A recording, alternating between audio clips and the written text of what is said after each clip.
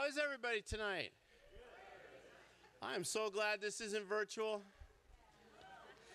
Welcome. My name is Matt Judd. I am the Dean of Natural Sciences. Woo! And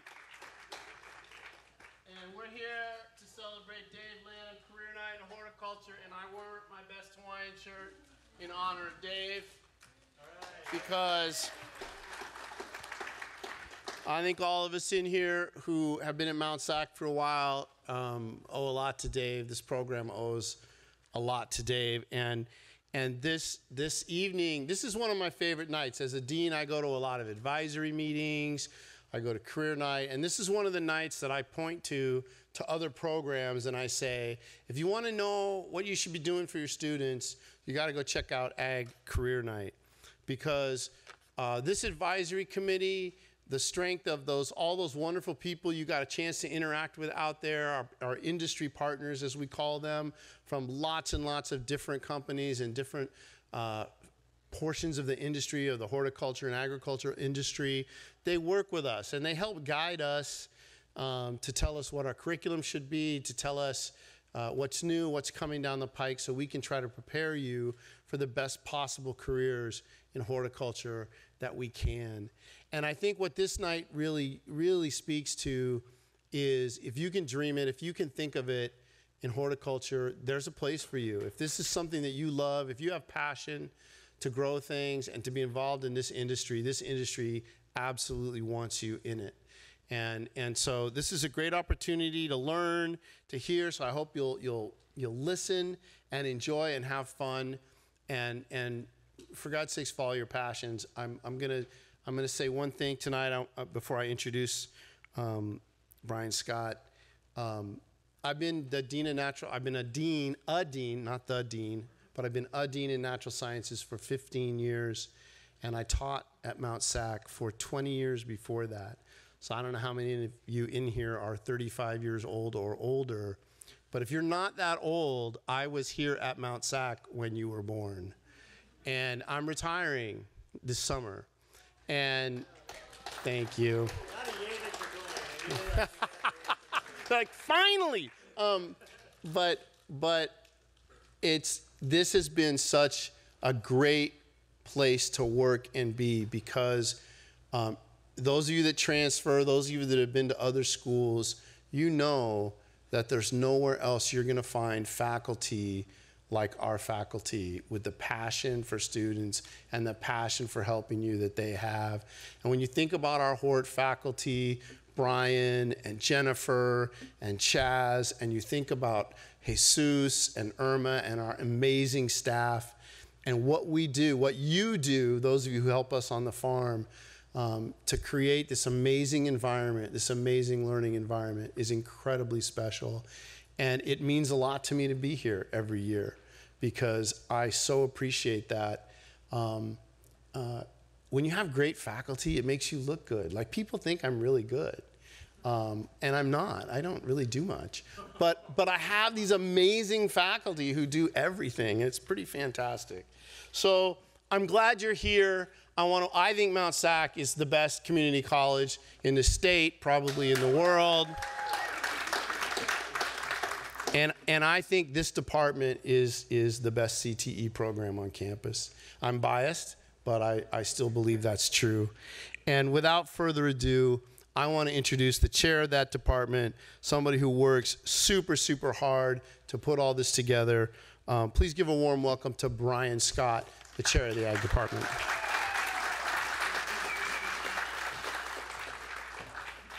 And Jennifer Hinestroza. I didn't know you were coming up too. Oh, oh, okay. Just, do you want me to do it now? Yeah, I might as well do that now, so it's there.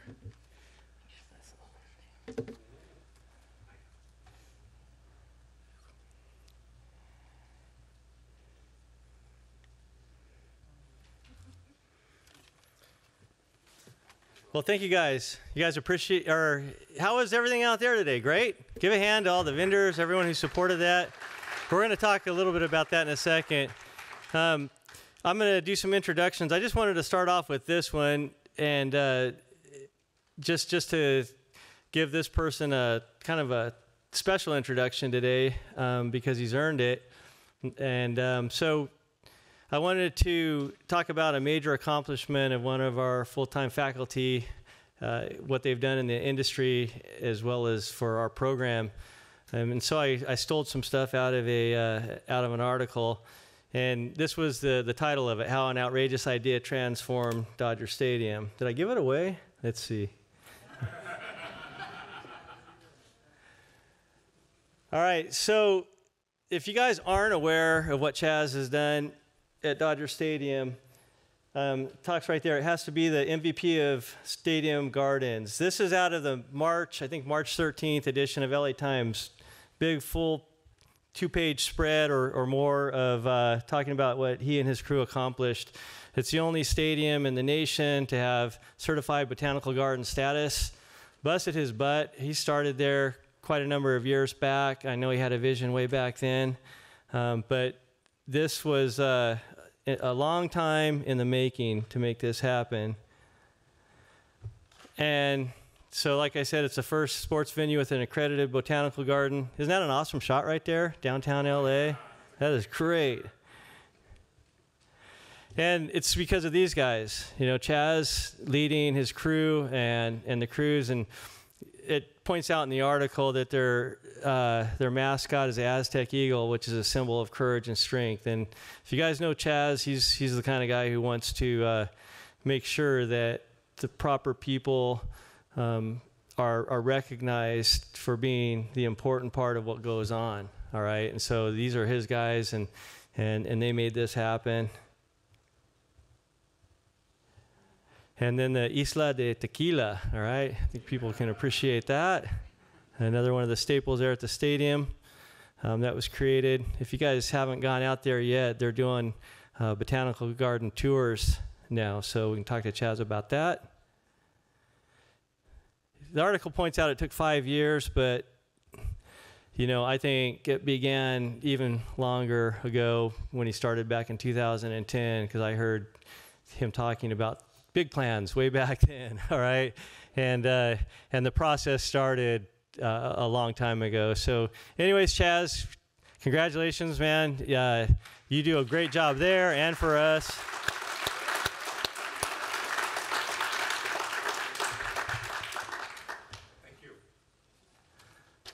So the, uh, there's a link there. If anybody wants to link to that article, I can certainly uh, forward that to you. So my job here tonight is to just introduce special people who are giving presentations tonight, but also to recognize our faculty and staff. And you guys aren't really aware of the work that goes into putting a program together and keeping it going. We have an advisory committee. Anyone who's on the advisory committee, stand up. I can't see you anyways, but advisory committee, just stand up. A lot of them were out there. You guys talked to them. All right.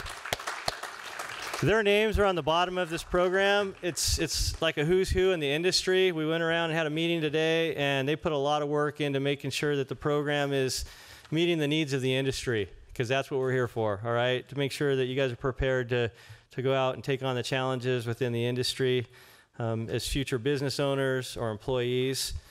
Uh, also, our, our faculty, all right, work really hard. Um, I introduced Chaz already. A lot of you guys know Chaz, all right? So, Chaz, Jennifer Hinestroza. But we, we also have uh, our adjunct faculty. I don't think Jesus was able to make it tonight, but give him a round of applause. Not only does he do that, yeah, but Jesus is the production uh, manager of the nursery as well. We have uh, Danny Akers. I know Danny's here somewhere. Alicia Baugh. Bill and Bill Millward. All right. And I know I, I always I hate doing that because I know I'm anything. Who else? Am I forgetting someone? Am I good? That's good. Oh, Arnita, what do you teach? I haven't even gotten to that part yet, but since Arnita jumped the gun, you guys met Arnita up here if you came in. She's our career specialist, and she can help you guys with resumes, interview skills. So give it up for Arnita back there. Yeah. Um, and and our staff. I mentioned Jesus, but we have Irma who works extremely hard. All right, so Irma Arvisu, and all of the students that work out at the nursery. All right, and bust a mission out there. Fantastic. We've got like 14 new students working at the nursery right now. You know, this is obviously post COVID. Uh, I know there were a lot of things going on, and uh, we weren't able to be around. And it's been a mission to get back onto campus and to get things going again. And and we're gonna we're committed to to keeping it going. So. Um, all of you students who are here tonight, everybody who's coming in person, as well as doing online classes, you know, we appreciate all of you guys, and, and we're here for you. So if you need anything, please, you know, know that you can approach us. And uh, and our job is to teach, but our job is really to again to make sure that you guys find your where you need to plug in, all right, in the industry, and to, to go from here and beyond through life. So um, never hesitate. Okay. All right, I think that's it. The last thing I want to do is um, just read down a list of all of the people who donated raffle prizes and who were out there at the career fair. And uh, if you got all those raffle tickets, Bill's out there taping the winning tickets to the prizes. I told him that I think, oh, I don't know, I don't even have a ticket, but you know, one of those Makita coffee makers. God, I got to have that. So hopefully that doesn't go claimed. But anyways, on your way out, you guys tonight could ch- check your tickets against those, and you know, and uh, take somebody else's gift. the, yeah, the extra credit for the you know coffee maker, right? No, just kidding. All right, so we had uh, Tree Pro. Go ahead, give it up, Tree Pro. All right. Imperial Irrigation, Imperial, they, they did the coffee maker, so thank you, Imperial. Uh, SiteOne, gift card. Uh, Everde, plants. Who can, who can use more plants? Yeah. Netafim, gift card. Uh, Lawnmaster, gift card.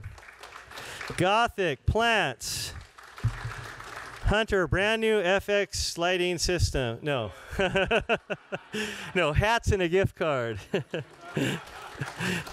Brightview, gift box. Uh, Ecotech, a gift card, and RPW, a bunch of gas cards. Wow, that's important. Woo! Hundred bucks in gas cards. Right on. Okay, so I think I've acknowledged everyone. And Matt, thank you for all your years of service to, to the division. We really appreciate it. We're going to miss you. And our associate dean, uh, John Ventula, who's listed down here, I know he couldn't make it, he was at the meeting earlier. And, and so give it up for John, too, as well. So, right now, Jennifer's going to come up and talk about um, some very appropriate things about how you really get those pieces of paper once you earn them. So,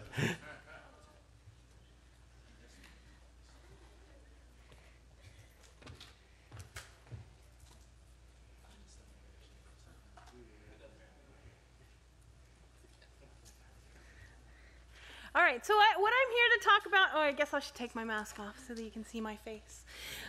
Uh, so, what I'm here to talk about is how to go about applying for those degrees and certificates and when to do that and all of that. Because even if it might not be relevant now, hopefully by the time that you're ready, you'll be ready, you'll remember this and think about it. And if you don't remember, then you know that you can come back and ask me and I'll tell you again. I'd be happy to tell you as many times as I need to. Uh, so I just wanted to go over a little bit of just to, an introduction to what degrees and certificates we have. I know a lot of you are probably aware of this, but we do have five different horticulture related degrees. Four of them are regular AS degrees, and then we also have an associates for transfer in plant science. So those are all the, the associate's degrees that we have, but we also have 11 different certificates. The difference between the degrees and the certificates is for the degrees you need general education and a lot more courses, and then the certificates don't require you to take any of the general education classes. They focus specifically on the horticulture, and those are much shorter also. So those are only six classes. It's 18 units for each one of those certificates. And when you uh, when you graduate, you can get more than one degree. If you want to, you can get more, more than one certificate. And many of our students do graduate with at least one degree and several certificates, if not more than one degree. So if you have interest in different areas, you can certainly complete more than one. You don't have to just have one goal. As much as the Mountie Map wants to make you think that you can only have one goal, you can certainly complete more than that. And we're here to help you do that. Um, as the faculty, we are here to try to help you find the right degree or certificate for you and to help you make sure that you get through your pathway. Um, I wanted to let you know, some of you may have picked it up already, but I put a little resource guide out on the table that shows all of our degrees and certificate and lists all of the courses that are required for each of those degrees and certificates. It's a little three page handout that's out there on the table. So if you didn't already grab one of those and you want one, feel free to grab them.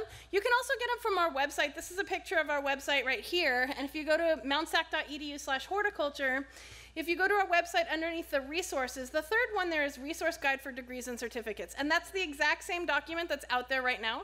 So you can always go back and find it. And I'll let you know right now that that list of degrees and certificates is accurate for now.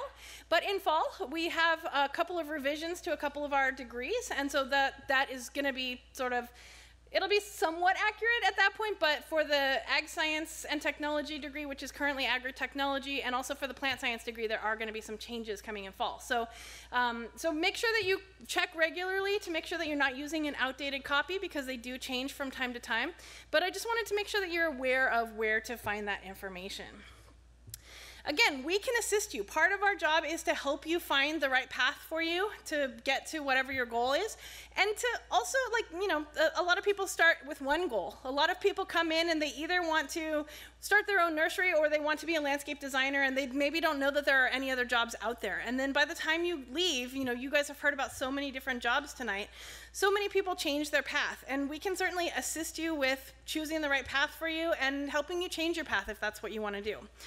Um, we can we can assist you with creating an ed plan to try to make sure that you're going to get out of here in a timely manner so that you're taking the right classes in the right order that it'll make sense it'll make things easier for you and also we can help you with which classes are offered when so that you know um, you know that you're not planning to take a bunch of classes in spring that it turns out are only offered in fall so we can certainly help you either create your ed plan if you don't already have one, or if you have one that was created by a counselor, we can help you look at it and adjust it as necessary to try to make it more efficient for you to get through, or to you know change the direction or adjust it for whatever your personal goals are. We also encourage you to talk to your counselors, particularly for general ed re related questions and for transfer related questions. Although the counselors are um, are certainly great for those kinds of questions. They're not as familiar with our programs as we are. So they can help you create a plan, but we can do a, uh, a, better job on the horticulture part. And again, we know our industry much better than the counselors do, so we can help you a lot with adjusting it towards what your personal goals are. Um, if you do see a counselor, we usually recommend Antoine Thomas because he is the counselor that is assigned to agriculture, and we've been working with him for many years. And he works really hard to make sure that he is up to date on our programs, and that he and he's not afraid to ask us questions too if he doesn't know how to direct somebody. So I put his contact information here. It's a thomas at mountsac.edu. And yes, you can see any counselor that you want. Um, and sometimes Antoine has a long time of a wait, but he's also kind of worth it. I also wanted to talk to you a little bit about the Mountie Map. If you're not aware already, the Mountie Map is in your portal, and everybody has a Mountie Map based on what they declared as their goal when they first started, when they first registered at Mount Sac. So if you have not updated your goal and your goal has changed, it's a good idea to do that because that's going to adjust your Mountie Map. The Mountie Map is sort of computer generated, so it's not. Um, it doesn't adjust, and it only gives you a chance to identify one goal. So if your goal is to complete a degree and two certificates, and you might have to complete a couple of extra courses in addition to the degree to get those two certificates, your Mountie map is not going to show you that. So I wanted to point that out because it's, although it's good because it's automatic and everybody has a Mountie map, it's also not necessarily as accurate as you want it to be or as complete as you want it to be for whatever your personal goal is. So I just wanted to let you know about that. Um, the other thing I wanted to make sure that you're aware is that degrees and certificates are not automatically awarded. They need to be applied for. So even if you've completed the six courses that are required to complete a certificate, you haven't earned the certificate officially until you've applied for it. So a lot of people aren't really aware of that. A lot of people think that once you complete your six courses, you have the certificate. And it's really important that you go in there and apply for it because it'll show up on your transcripts if you apply for it. If you don't, it doesn't show up on your transcripts. So just be aware that you do need to, to apply both for certificates and for degrees. The campus does a good people a good job of no notifying people that they need to apply for graduation when they get their degrees, but as far as certificates, they, they don't really talk about those as much. Before you apply for either graduation for your degree or for your certificate, make sure that if you have any variances to submit, that you submit those or get those worked out. If you're transferring courses from other colleges that don't don't transfer directly for a particular course, you may need a variance for that. Um, if you have to substitute a class, maybe because you took something at someplace else, but we feel it would be relevant for a certificate or a degree, we can do a variance for those. So I wanted to make sure that you're aware that that's possible and that you do want to get those submitted before you go ahead and apply because if you don't, they're going to turn you down and say you haven't completed it. So you have to make sure that all those variances are, are in and submitted. You also want to make sure that any transcripts from other colleges that you may have taken courses of that from that will will contribute to your degree, make sure that those transcripts have been submitted in advance so that when they do do your grad check, they'll look at it and they'll see all the courses that you have and they'll apply all of the courses that are from other colleges as well. As far as when to, to apply, the time to apply for degrees starts the semester before you're going to graduate. So if you're going to graduate in spring, you can apply to get your degree in fall. You can apply up till about the 8th to 10th week. There's always a deadline that's going to be listed, and it used to always be like the 8th week, but now they said that it varies depending on the semester, so you should always check the website. If you go to the class schedule and you see key dates, I put a picture of the website there. Underneath those key dates, it'll show you the last day to petition for graduation, which for this semester is tomorrow.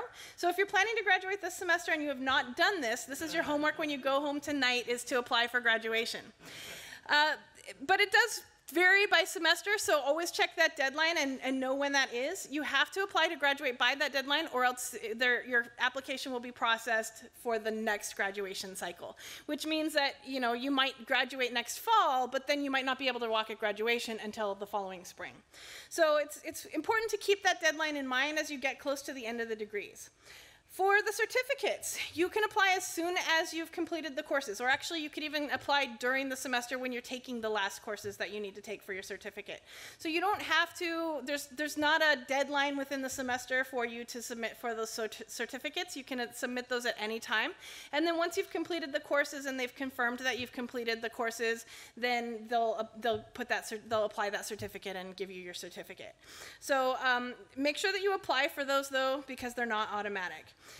If you, if you receive financial aid, I would recommend talking to financial aid just to make sure because if you're going for a degree but you're also trying to get a certificate, the applying for the certificate before you're ready to apply for the degree may affect your financial aid. So it's certainly important to talk to them before you do it. Um, even if it if it does affect your financial aid, it doesn't mean that you can't get the certificates. Just wait to apply for them until you complete your degree as well, and then submit everything at the same time so that you still get those certificates and your degrees. Um, but again, you can apply for those as soon as you've completed the courses, and uh, then they'll they'll put your, your degree on or your certificate on your transcript, and they'll send you your actual certificate. That's pretty much it. For, oh wait, the, the way that you um, the way that you actually go ahead and apply for it is you, you go into the portal. They've made it very easy since COVID happened because now it's all online. All you have to do is go into your portal, log into the portal, and go to the student tab of the portal. Go down to number 45. It's the last one on the list, and then you select the degrees and certificates that you're applying for, and you submit, apply for them, and that's pretty much all you have to do.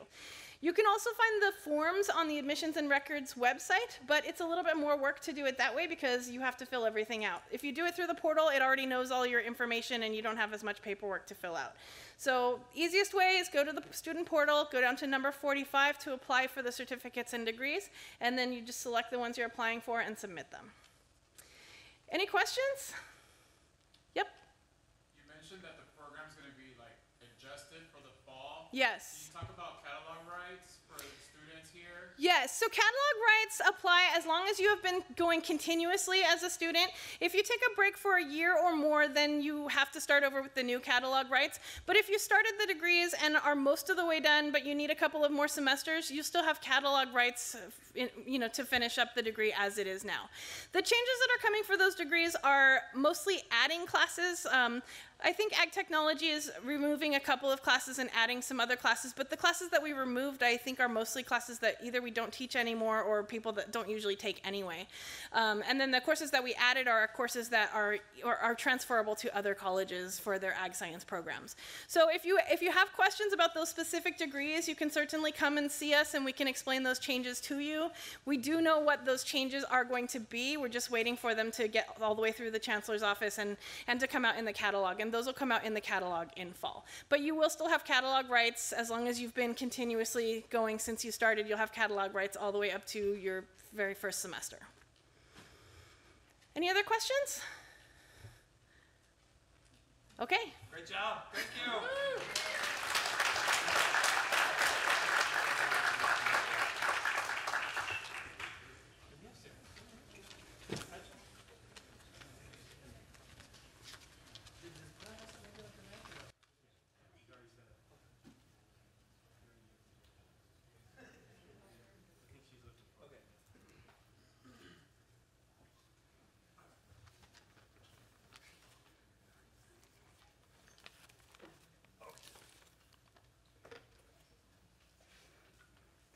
There's a clicker here for him.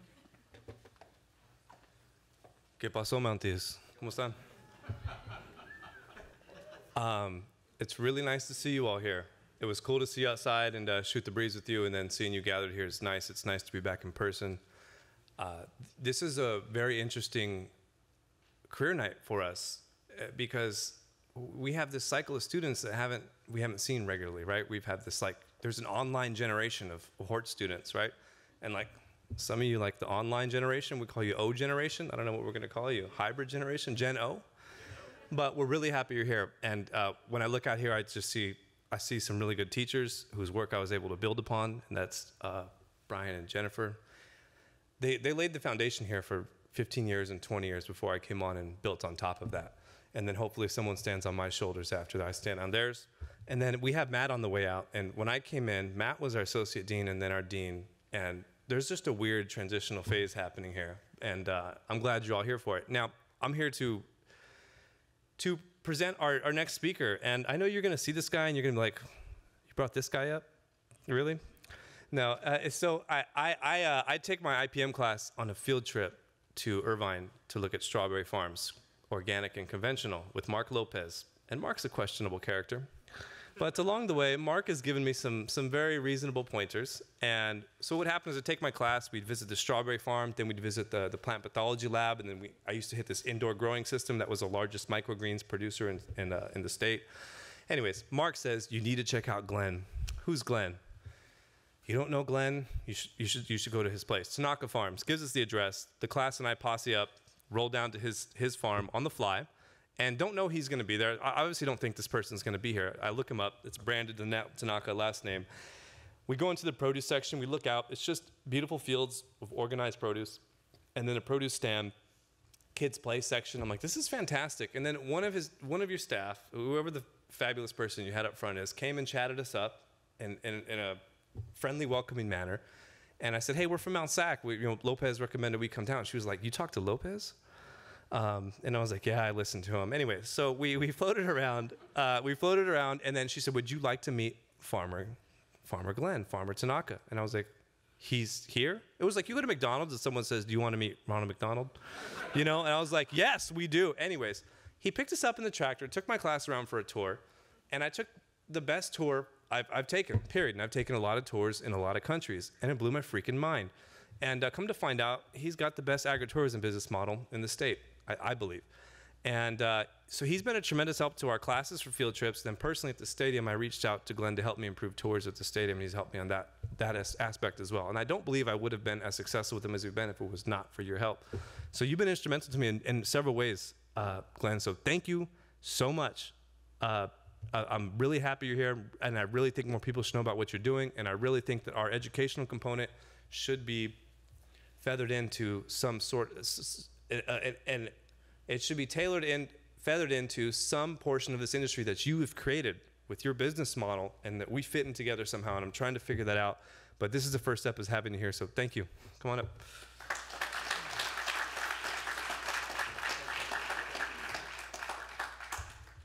Uh, good, uh, good evening. Uh, Farmer Tanaka, stage name Farmer Tanaka. Uh, thanks for that introduction. Uh, I learned a long time ago, too, that I'm not very interesting, so have to buy my audience. So, all of you that came tonight, uh, when you walk out, you probably smelled those strawberries when you came in. Take a basket of strawberries home with you tonight. And hopefully, you remember me.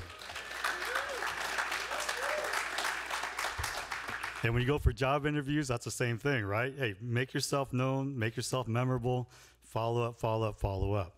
Uh, I'm going to embarrass somebody here. So, so obviously, all of you haven't heard of Tanaka Farms. I'm sure most of you have, but probably many of you haven't. Who who didn't know Tanaka Farms and who didn't Google me before you came? Stand up. Stand up. Yeah, see? I'm, I'm going to waste 20 minutes of your time tonight, and you don't even know who I am. So you, sh- you should research that, just like when you go for a job. Research, research, research. This day and age of internet, there's no reason you shouldn't be able to do that. So research. Since you don't know about me, I have to bore everybody else with my history. People come out to the farm. Uh, we're agritourism, ag education, agritourism. People come out to the farm to know, be, uh, be closer to where their food comes from. So they want to hear the story. So my story. Uh, I'm a third generation Japanese American farmer. My wife Shirley, she's from Riverside. She comes from a farm family. My son, only son, only child. Uh, he's uh, 40 years old now. I didn't want him to be a farmer, but uh, when we got in agritourism, there's a space for him, so uh, he now runs the business with me. But he doesn't know how to farm, so that sucks. Uh, his his great wife, uh, she's a school teacher, uh, and his three kids. Uh, now I hope there's room for them, and there's ability to carry on to be a fifth generation. So Farmer Tanaka, the whole story. All right, I was uh, born uh, born here in Orange County, uh, Huntington Beach, California. Uh, I think that's me at three years old. I was born into the business, and most most of the you know generational farmers are born into the business, but that doesn't mean you can't get started in it. So I started at a young age, obviously sales, but I was talking to I was talking to Brian earlier. He said, "What are you doing putting this thing on a Cinco de Mayo day? Come on, that's why nobody's here, right?" Yeah. So, okay, I got a degree in ag business at Cal Poly Pomona. I knew what I was going to do from a young age. Uh, my dad brainwashed me pretty well, so I knew I was going to be a farmer. And so I met my wife at Cal Poly. She was a dietitian. Uh, she didn't want to marry a farmer because she knew how difficult it was. Uh, being from a small farm, it's a lot of manual labor. She didn't want to marry a farmer, but look at me, you know? Uh, right out of college, 21, uh, got married, uh, got into the family business, growing strawberries and tomatoes with my dad. My goal was to be a big time farmer. So after about oh, eight years, we were growing strawberries and tomatoes. We tripled in size, uh, shipping our product across the United States. And then NAFTA came along, and believe it or not, backyard tomatoes were a big thing, and they would feed the whole neighborhood. So it took me about eight years, screw things up, got into debt up to here, couldn't get, get any more money from the bank. You guys are too young to remember, but uh, back in the 80s, mid 80s, interest rates were about 17, 18 percent. I was a bad risk, and it was uh, 22 or 23 percent, I think it was. Can you imagine? We're shipping a product across the United States. We pick, pack, we grow, pick, pack, sell, shipping. We pay for shipping costs, and we pay for dumping costs over there because we couldn't sell it. So I had about two two bad years in a row like that.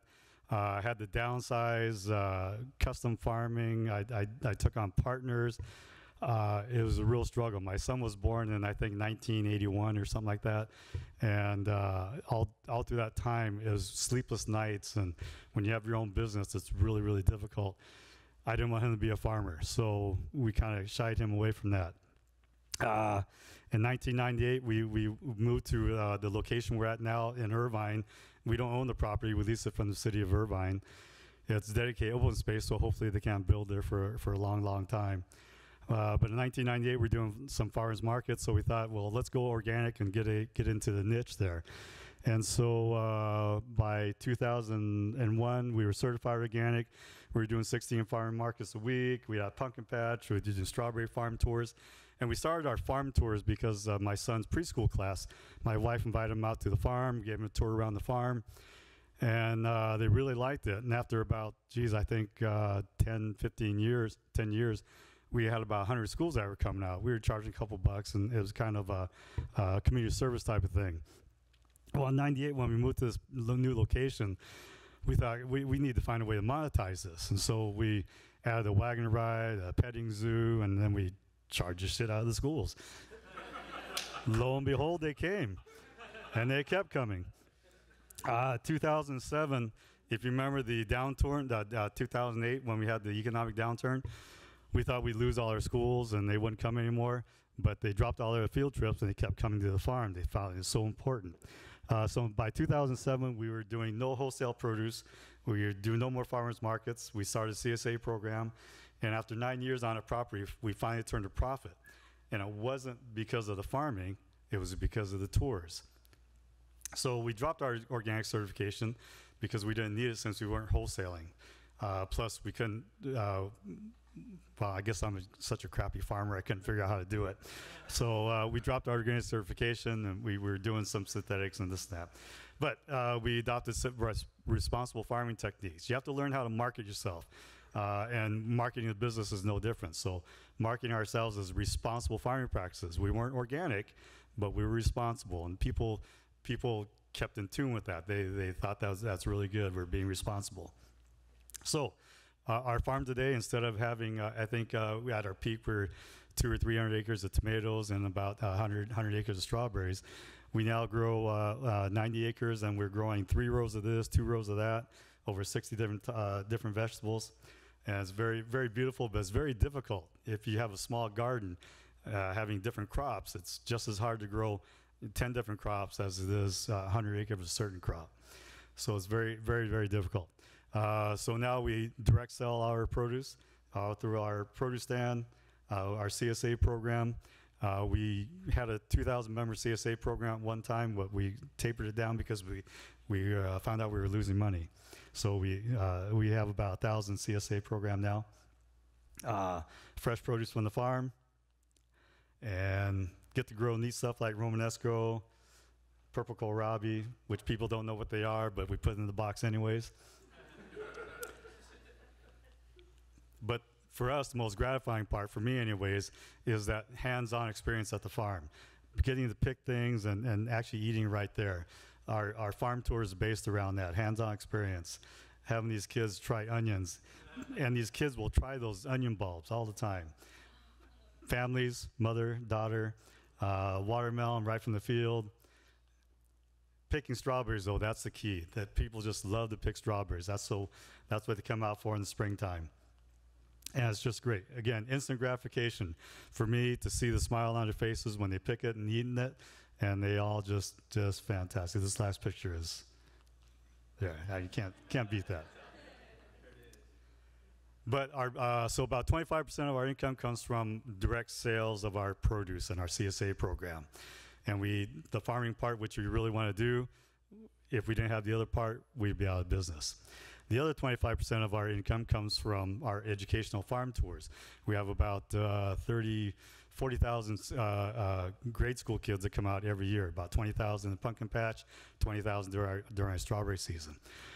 50% of our income comes from ag entertainment, I call it, agri- and that's like our pumpkin patch. People will pay to be entertained. They'll come out and buy pumpkins, go through a corn maze, and what they really like, well, what's really neat about uh, coming out to the farm here is our vegetable patch, where, of course, you get to pick vegetables out of the vegetable patch. And so kids love seeing things coming out right out of the ground. But they love the pumpkin cannon. People like seeing things go splat. And uh, that is just, uh, it's great. But uh, we this last year we just started uh, Hana Fields. It's uh, our sunflower field, and we grew it just for the Instagram moment. So we, we opened up last year, and it was a huge success. And we we just opened up this last weekend, where people come out. Half the people that come out there just come out to take photographs. The other half will pick, uh, take photographs and take pick, pick flowers and take home. Instagram moment, right? That a great picture? All right, so that, that's Tanaka Farms, and I'm not sure why they had me come out here and talk. But, you know, some of the stuff is if you're looking for a job, if you're looking for a career path, uh, I'll tell you what my competition is. We're, we're in this for profit. We have to earn our money from our farm tours, our farm dinners, and yet we have, oh, well, I want to talk about some of the th- stuff we do also. Career opportunities at Tanaka Farms. Uh, what it is is I call myself a dumb farmer that I can't grow a crop. I, I think I don't know who I was telling before, but I tell people I'm such a crappy farmer after living taking money from little children. so this is how stupid I am. I'm a, I'm a, I'm a bad farmer. I, I, I, that's why I went broke. Well, this is my best friend here on the right. Uh, his father and my father were best friends growing up. Uh, we wound up becoming best friends because he had a five acre farm where he had a roadside produce stand and he sold his property and he retired about, uh, uh, about 10 years ago. And so, like a dummy, I said, Hey, why don't you come out and do the farming for me? So he came out and do the farming for me, and now he has to hire somebody else to help him. So, you know, stupid farmer, another stupid farmer. Well, the gal on the left is uh, Sarah Pritchett. Is she here tonight? Supposed to be here. Sarah in the house? Well, she, she's a she's a grad and uh, a uh, South, Ma- South Mount Sac grad, uh, and she'll be talking a little bit. She'll be here tonight, and she uh, part time comes out to our farm and gives us some of uh, fertilizer and fertilization and, and watches the crop for us.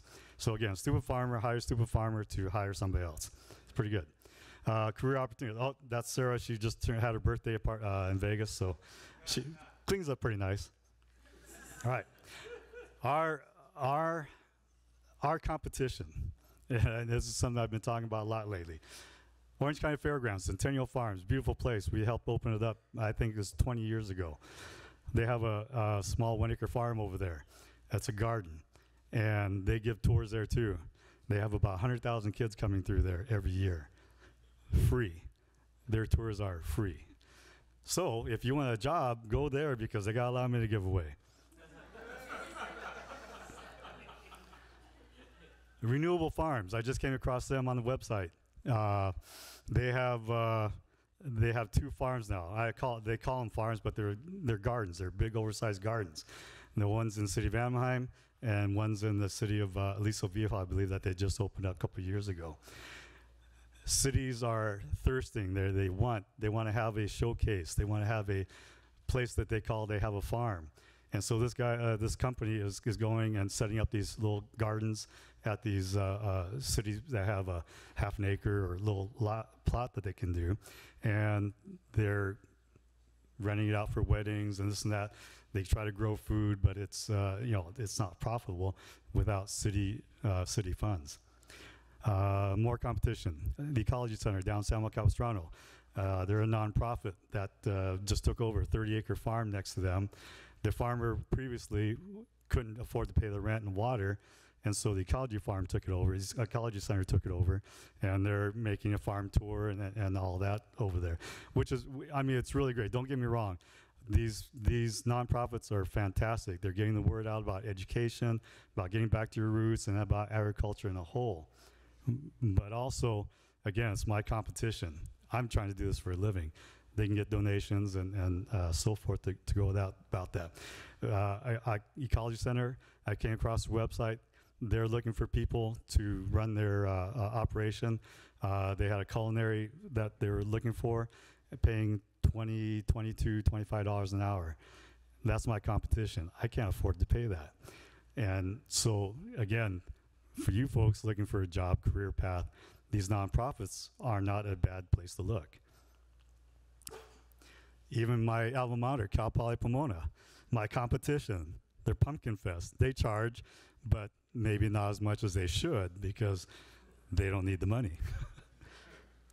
but so that's Tanaka Farms. That's uh, what we do, and you talk, uh, talking about you know our career path and possibilities for for employment.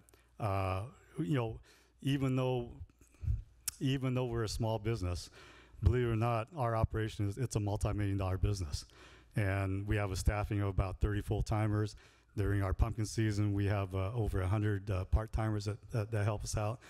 But you look at these all these little operations, and again, I'll go back to the cities. They're all looking for somebody to run their garden or something, or and you guys all have that type of experience to be able to, to supply that. Uh, something uh, I, I- was asked about uh, three things, three questions you should ask uh, employer. One, I came up with two, two, two questions. Our managers promoted from within because you want to know if you're if the company promotes from within because you want to know what you're what you have available later on. And probably the next biggest question is if it's a small business and it's especially if it's a family-owned business, does the owner have children?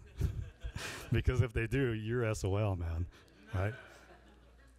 Job interviews, know, hey, try to meet the superiors. Or we have people coming in at our farm all the time looking for a job, and the ones that really strike me the best are the ones that I get to meet on the side when they're going through the interview and they come out and say, "Oh, there's Farmer Tanaka," uh, just as our as our uh, all our tour guides, I call them tour guides.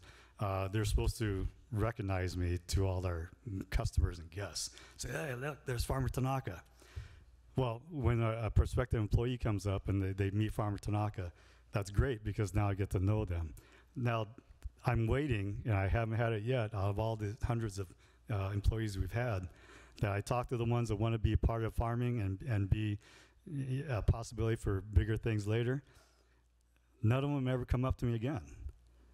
Whether they don't want to be there or they don't, maybe they find out they don't like the farm. But you have to make yourselves known. Make yourselves known to the people above you so that they know who you are and they get to know your work. Uh, good or bad, they get to know you. That's all I got.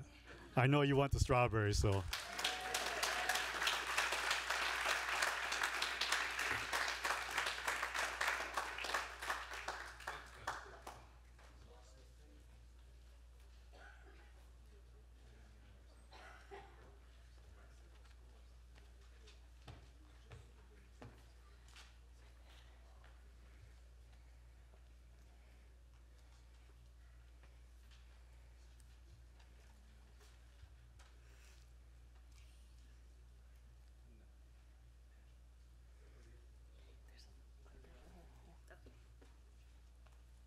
Hi, everybody. Um, Hi, Gretchen.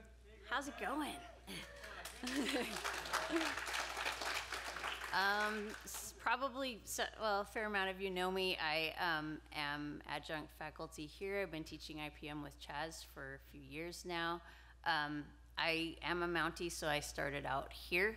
Um, I'm currently in the PhD program at UC Riverside, and um, after I spoke last year at Career Night, we got a lot of interest in the PhD path. So um, I wanted to bring in Jeanette, who um, I originally met when I was working at Disneyland, and she I was working with her husband, and he told me, or I found out through the grapevine that she had gone through the program, and she um, very generously offered to um, talk to me and let me pick her brain for like it feels like it was like over an hour that I just like asked her all kinds of questions and it was super helpful.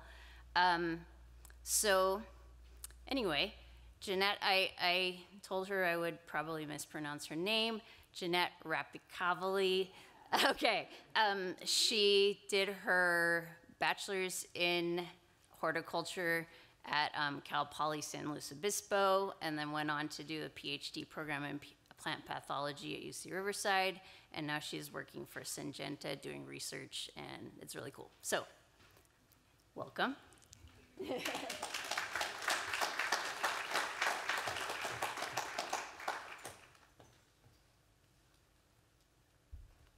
Well, thank you so much for the introduction, Gretchen. Um, it's really a pleasure to be here tonight. Um, you know, as I was putting this presentation together, I was like, I need to impart these students with some kind of wisdom um, that they can take with them. And if nothing else, I hope you can see that your education is really what you make of it. Uh, when I was a horticulture student, I always felt like I was presented with very limited opportunities for what I could do afterwards with that degree. And that just couldn't be further from the truth. If you would have asked me, you know, 10 years ago what I thought I'd be doing at this point in my life, it wouldn't have been this. I had no idea that this type of role existed. So, um, you know, just thankful to be here tonight and uh, to be able to share my story with you. So, I grew up in the San Francisco Bay Area. I do not come from an agricultural background. I grew up in a very suburban environment. And I'm also a first generation college student. So you can imagine, I told my parents, I want to go to college and I want to study horticulture. And they were like, What's that? We don't think you're going to make any money in doing that. You should probably pick something else. Um, but I just always really had a passion for plants and insects. And I remember when I found out I could study horticulture, it like blew my mind. So um, I went to Cal Poly in uh, San Luis Obispo where I got my bachelor's in environmental horticultural science. And I, I can't say enough wonderful things about my experience at Cal Poly. Um, they have a really comprehensive horticulture program there, and quite honestly, I feel like a lot of the reason why I can do my job today and be successful is because of my horticulture training that I got at Cal Poly. So I got to do a lot of fun things. There's some a picture of me there climbing trees in our arboriculture class. Um, I was on a competitive landscape team where I actually met my my husband. Uh, so yeah, I just had a really great experience at Cal Poly. And uh, at that time, in their horticulture program, you could specialize in three different things. You could do turf grass management, you could do nursery production, or you could uh, do landscape design.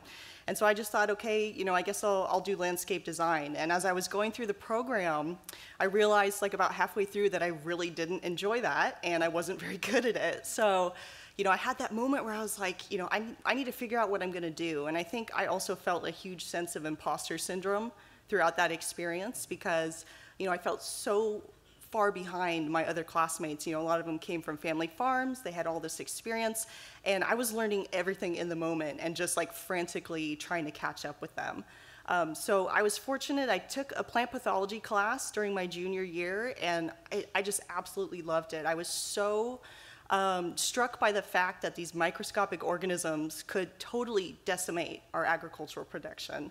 And um, you know, it was kind of at that moment I was like, you know, I really like the science, and I think I want to become a plant pathologist. And I had a great uh, professor in that class, Dr. Michael Yoshimura. I ended up dedicating my uh, doctoral dissertation to him. Um, but he really took me under his wing and um, you know showed me a lot of classical plant pathology techniques. We did some research in the lab, and uh, you know, I, I, decided that I wanted to pursue that from a research perspective. And he said, you know, if you want to do this for a career, I highly recommend that you go to graduate school and that you pursue a PhD because that's that's really what you're going to need to be able to do that. Um, so it was at that moment that you know I decided to, to pursue the PhD. And uh, I got that in 2016 from UCR. And uh, again, I had a really great time in grad school. It was probably one of the most difficult things I've ever done in my life. You have to be really, really determined to get through those programs. But um, I ended up in a molecular lab, which I didn't plan on, but I really liked the advisor. And uh, I was working with a bacterial pathogen of grapevine called Xylella fastidiosa. So, you know, I really enjoyed my research, but again, I kind of got to the point where, you know, I was like halfway through the program and thinking about what I was going to do next, and, and a couple things became very clear. Number one, I didn't want to continue doing molecular research because I was stuck in a lab all day, and I knew I didn't want to keep doing that. So I started thinking about applied research and you know different different avenues that I could pursue. And a couple things stood out to me. You know, either go into UC Cooperative Extension or pursue a job in industry. Um, so you know, I started reaching out to faculty in our department that that run um, ran applied research labs and then I also started reaching out to some of the extension specialists and farm advisors in the area. And so I definitely wanted to give a shout out to Dr. Carmen Gispert. She's the uh, viticulture advisor for Riverside, San Bernardino, and San Diego counties. And I basically just reached out to her and, and said that I was interested in going into extension. And she invited me to come and uh, you know help her with her field trials and uh, take data. And you know she just again just having another really wonderful mentor um, that was happy to have me along and, and teach me things. And so it kind of you know that reaffirmed for me that that was the path that I wanted to take. Um, I was at a professional pathology meeting that summer, and I happened to meet a Syngenta field scientist at a graduate student and industry luncheon. And I had copies of my CV, my resume ready to go. and uh, gave it to him there. And then Syngenta called me several months later uh, for an interview, and I was really fortunate. They actually hired me for the position that I'm in now um, two weeks after I defended my dissertation. So just a little bit about R&D at Syngenta. Um, you know, Syngenta's one of the big three agrochemical companies. We're a global company. Um, and I think, you know, obviously agrochemical companies don't have the best uh, reputation, but, um, you know, I'm really proud of the work that I do with Syngenta, and it takes a really long time to bring a new pesticide to market. I think the public has this perception that we're just out there, you know, spraying things haphazardly, and it takes at least 10 years to bring a new product to market, longer if you're looking at a seed treatment, and like several hundred million dollars to get that done and uh, Syngenta invests very heavily into R&D, well over a billion dollars a year. Um, and so there's several steps in that process from original discovery and formulation of a new active ingredient all the way to final registration. So I come in at that trials and field development stage. So just, I wanted to go over some of my responsibilities in this role. Basically, I conduct and manage all of the field trials that take place in the territory of Southern California and Arizona. So in California, I cover everything from uh, Ventura County South. And basically, we're just confirming that the products are going to do what we say they're going to do, right? I'm confirming the biological activity, uh, making sure that we're, um, you know, targeting the right diseases and pests for those products. Uh, and then I take all that data, I give it to the product leads, and then they use that, you know, to eventually register this product uh, federally and at the state level. Um, and then we continue developing those products even after they go to market. I work with my commercial colleagues, my sales reps, my tech service reps to make sure that we're continuing to support those products, um, you know, so they can sell them to our customers. So a little bit about crop diversity in the desert. I'm sure you know both Southern California and Arizona farm year-round, um, and it's a notoriously challenging territory to run because I never get a break, right? I hear from my colleagues in the Midwest who are stuck inside for six months because it's snowing, and uh, you know I'm working when it's 120 degrees, you know, in the desert in the summer. So, um, but I try to see the positives in that. I get to work with a really wide spectrum of crops. I grew, you know, probably 25 different crops last year and uh, worked with an equally diverse uh, spectrum of diseases and pests. So everything from tree nuts and vines, forage and fiber like cotton and alfalfa, fruiting veg, leafy veg, brassicas. I had a pomegranate trial last year, which was pretty cool. Um, but uh, you know, I feel really fortunate that I get to do this because I think ultimately it makes me a, a much more well-rounded scientist. So my research program, as a field scientist, I, I, kind of operate similarly to an extension specialist. I mean, I'm expected to have general knowledge of all the major crops and pests in my territory. Um, and I'm focused primarily on conventional chemical control, but I will test whatever Syngenta has coming down the pipeline. So that could be biologicals, um, could be plant activators, you know, whatever we have in development. And along with that, I also work in all the major disciplines. So I test insecticides, fungicides, herbicides, nematicides, again, whatever we have coming down the pipeline. Um, but due to our really hot, dry climate, I would say 90% of my research program uh, is insecticide trials. So I just kind of wanted to take you through a typical year for me. Every January, I get a work slate from Syngenta that's essentially just this really, really long Excel spreadsheet um, with all the trials that they want to place in my territory for that year. So it'll list, uh, you know, the active ingredient, the crop, the pests that they want to target, and basically where they want that trial to go. Um, so I get that in January. I pretty much immediately have to organize that and plan out my year um, and get into the field so we can start catching some of these pests. So, you know, I have to figure out where the trial's going to go. I have to calculate how much seed I need, how much chemical I need, all my supplies, um, and then get those trials in the field. And then, of course, I'm going to apply the products and start taking data. So I do make all of my own pesticide applications. I have a qualified applicator license in California with a category J, which is demonstration and research. And then I have an equivalent license through uh, the Arizona Department of Ag. And we're doing mostly small plot work, so I can do all of this with a hand boom, and I just wear a, a half mask respirator, and uh, we get it done. So I want to go through some examples of just some of the typical trials that we do and how we evaluate them. Um, so I know you guys have an IPM class. So I'll ask you, if I'm running an insecticide trial, right, I have this field, presumably there's a uniform distribution of insects, I'm gonna apply these products, what am I gonna do to make sure that they're working? How am I gonna evaluate that?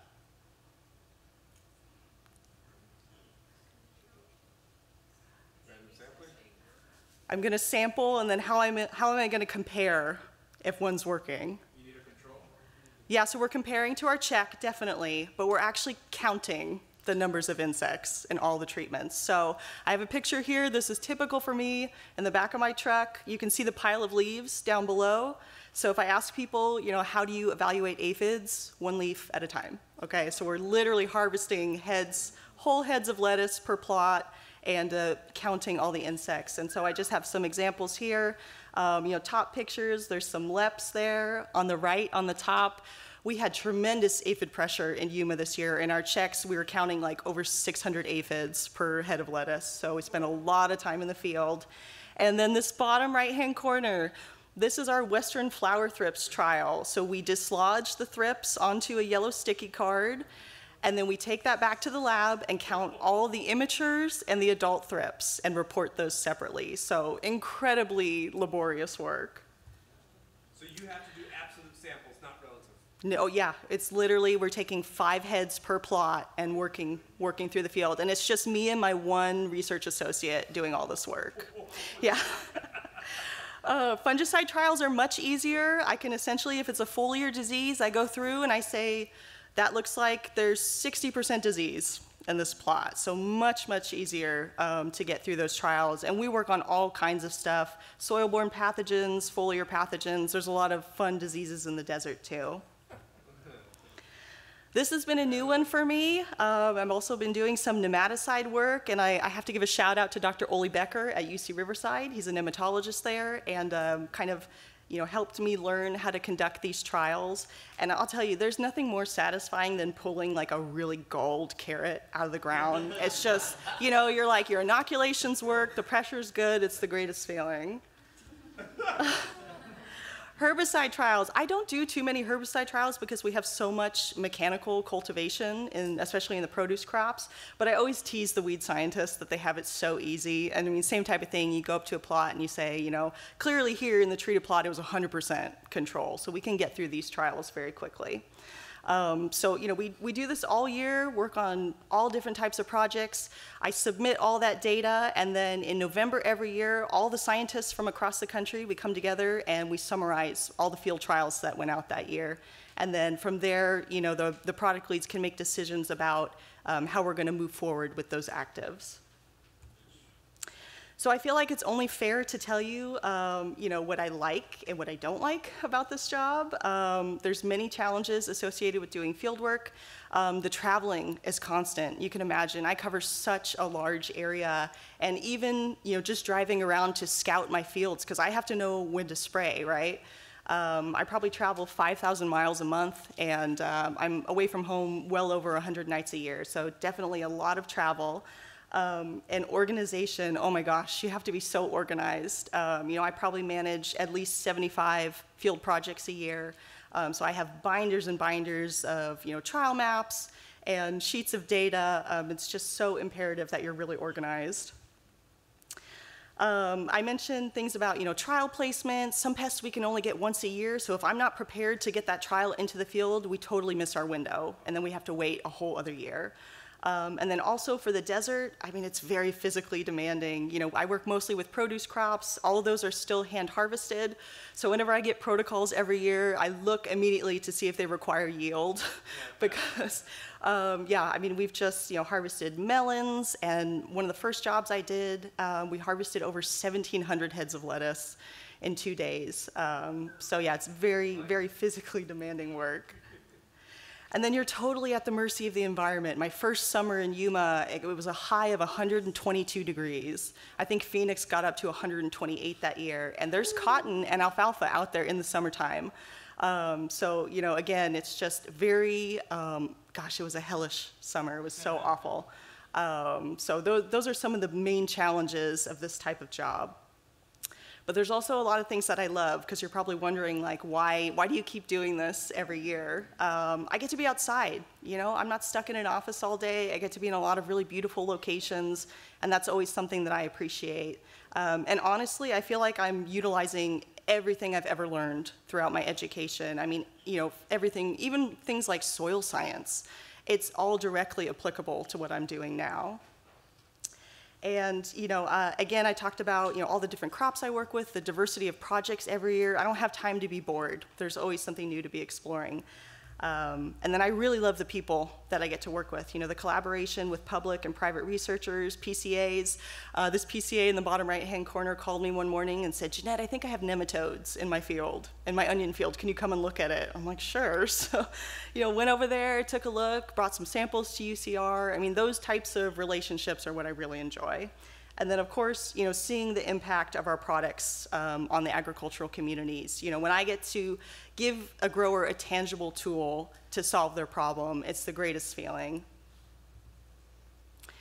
Okay, so for those of you who are looking for a job in industry, um, I highly recommend, you know, start thinking about what part of the industry you want to join. There's so many different areas, and, um, you know, I'm in our crop protection field development group, but we have a seeds organization, we have Syngenta flowers, there's all different types of things you could be doing. So start checking out, you know, company websites um, and see what types of qualifications are required for those roles. And then, you know, if you're getting to the point where you're looking for a job, you know, start tailoring your resume to meet those qualifications.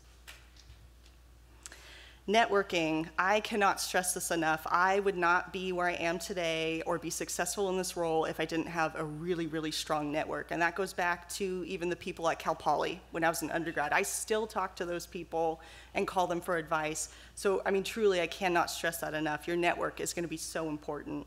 Um, and then try to attend professional conferences if you can.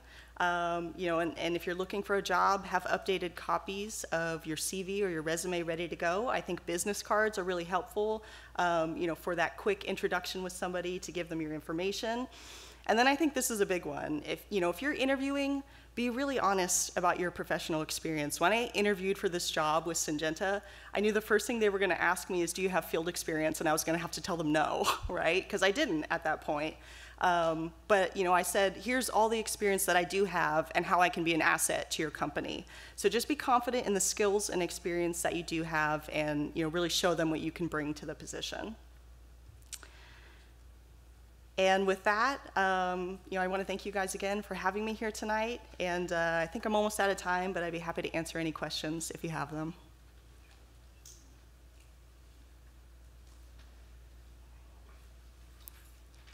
Okay. I have, I, I, I, I, I got a lot of questions. That's Okay. Okay. Um, what can you say about the role of the PCA in crop development? So you, you deal with them in the research, in a research realm, but Mm-hmm. uh, what is your experience with PCAs in the research realm, and, and what's what do you know of them in terms of uh, basic ag production? Like if I'm growing strawberries, how many might I use them? They are highly essential. PCAs are highly They are critical to oh. agricultural production. critical. Yes. To agricultural production. Oh, that's good to know. Okay. Yeah. So why is that? What do they do? They're, I mean, they're such a valuable resource. They walk those fields every day, right? So if I need to know maybe when, you know, to plant a trial, what time of year do I plant this trial to catch this pest? I call a PCA. Okay. You know, they're the, they know everything. They walk those fields every single day. Yeah.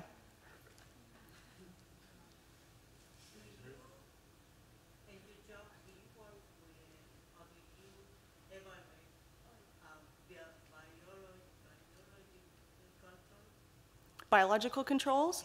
Um, so, you know, I think we have some.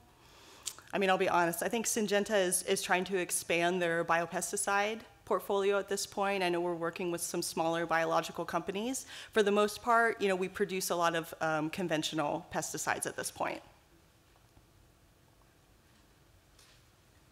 Okay, thank you guys.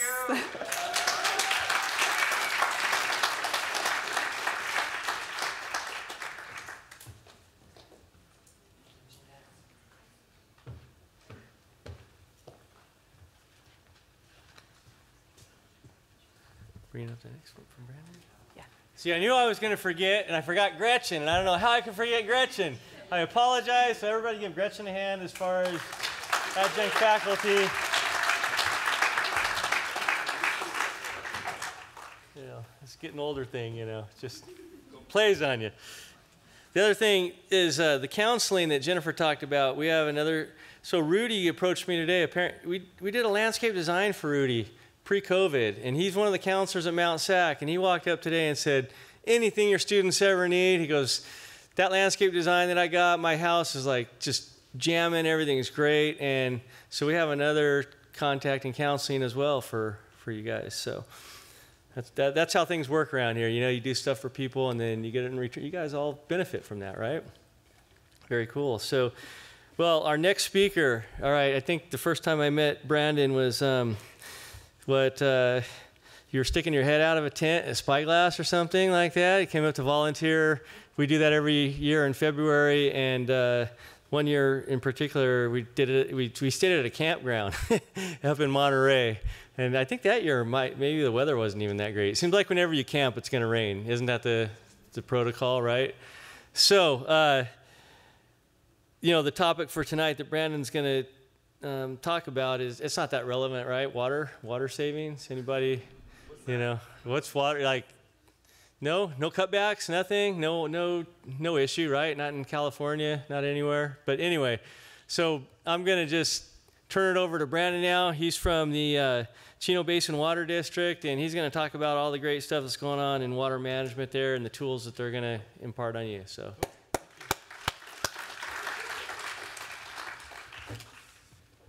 All right, hello everyone.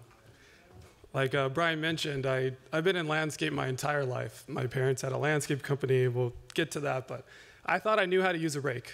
I thought I did until I went to Spyglass and I was getting railed that I wasn't raking the, uh, the sand traps correctly. It's, it's insane.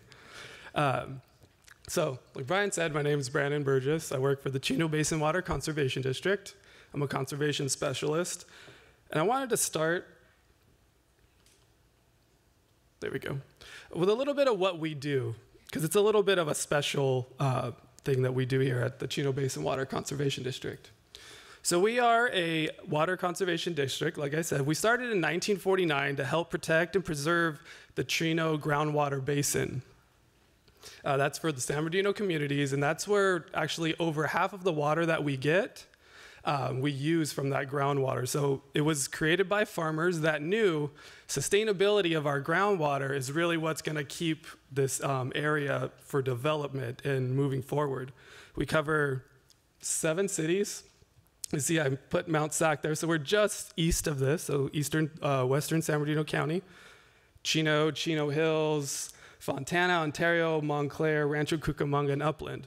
And we focus on demand, so we don't, we do not have a water supply. We, we focus on demand and water conservation. And so they gave me this wonderful slide. So our mission is threefold. So we do demonstrate, educate, and percolate. So, our facility. So, has anyone been to our facility? We're located, Chaz, a couple of you. Well, thank you all. You should come again. We during COVID, that was one thing we did. We really worked in our demonstration garden. So I have a couple updated photos here. But we have a four-acre demonstration garden where we work with our community. So we practice what we preach. We do workshops there. Um, and we really wanted to make it a demonstration garden, not as a botanical garden, although I am excited. I want to go to Dodger Stadium, right? We'll, we'll connect. But it, we didn't want to have a demonstration garden that was, you know, just a bunch of different pieces. What we really wanted to do was section it off, give more of a look with turf replacement, like the yarrow here on the right, places to sit to come and enjoy, do sculptural gardens, and give ideas, smaller sections of what you can do in your yard or open spaces, and really connect in a low water use. Everything in our garden, other than our turf area, um, we water a, one day a week. Most of it is every other week or once once a month. The second one is educate. So something that I really enjoy doing is connecting with our community. We do K through 12, so um, another department, which is our, our uh, community programs. Today we had a bunch of uh, kindergartners coming, learning about sustainability, about how to protect our groundwater. We work with higher education. We're working with uh, UC Cooperative Extension on a tree study. I think we're in the seventh year of that and of planting a tree, getting it established, putting mulch, and not watering it. These trees haven't been watered um, for five years now after establishment, so we do work with that. Um, we do work with professionals on landscape management uh, and water management. We'll cover that as well. One of the things that I do personally is I teach transformation of our urban landscapes to more drought tolerant, to, to more sustainable landscapes. And last thing, percolate. We own and operate and this is what gives us our special district status. We own and operate eight of these retention basins. So if you are driving home, if you live east of here and you're driving on the 10 freeway and you see these big open pits of water, sometimes they're full, sometimes they're not. We own and operate 10 or eight of those, and those are actually trapping rainwater, trapping water that's runoff from um, from the local areas, as well as taking imported water. We fill those up. The water uh, percolates down, giving uh, water to our Chino basin um, aquifer underneath. If it wasn't for those basins, we wouldn't be a special district and couldn't do all the great stuff. So, why is all this important? Clicking. Yes, we're in a drought, right? We're hearing all this stuff. Oh man, Brandon's gonna tell us to rip out our grass. Sorry, Brian, I'm not gonna do that. Thank you. right? So this is this is when you hear that the water restrictions, one day a week watering um, that that we need to do. That water that they're saying we're we're not able to um, have a very small allocation is from the state water project. So this is Oroville. This is by Lake Shasta. This is all the way in the northern part of California. This all comes down, and you can see over the years it's really depleted. This is the reason, one of the many reasons why. Also, this gets updated all the time. One of the tedious things that I do is I look at this map that gets updated once a week, and you can kind of see our severe drought, um, extreme drought, and all California, we're in some sort of above abnormal drought. Right, and so another thing to think about is since our beginning in 2022, from July through March, we've had the driest three, or beginning to a year, calendar year, in recorded history since they've been paying attention to the climate. It's, it's dire, right? We had a good rain in, in December. We had a week of rain, but other than that, we're, it's pretty sparse. And so, over 50% of um, our watering in our area, we use outdoors, right? So, that's why they're really calling, especially on SoCal, that to reduce our water by 20 to 30%. As a water manager, I'm like, oh, that's easy. Take a day off the controller, right? There's a little more that goes involved. But we all heard in January, in, starting in June, um, portions of LA County, San Bernardino County, and Ventura have to reduce to a one day a week watering. So I'm getting a lot of calls, right? So, okay, that's great. We got to shut it off. Everything's going to die. But really, it started a whole nother conversation with this drought. Something that really started to, to change the way I see landscapes really getting into landscape design. And it kind of opened it up to what does my landscape actually do for me? What does it do for my home? What does it do for the local area? Is it low water? We start thinking about our landscapes a little bit differently. There's a picture of one of my coworkers' front yard. He waters this once a month and it's not necessarily a low um, it's not like a no maintenance but it's a lower maintenance and it's a more specialized. Something that i really enjoy is it, the irrigation work is still there but it's a more technical irrigation work. You have to know your plants. You're not going to take your mower in there and just run over all those plants right? It's detail work. It also brings pollinators and, and birds and habitat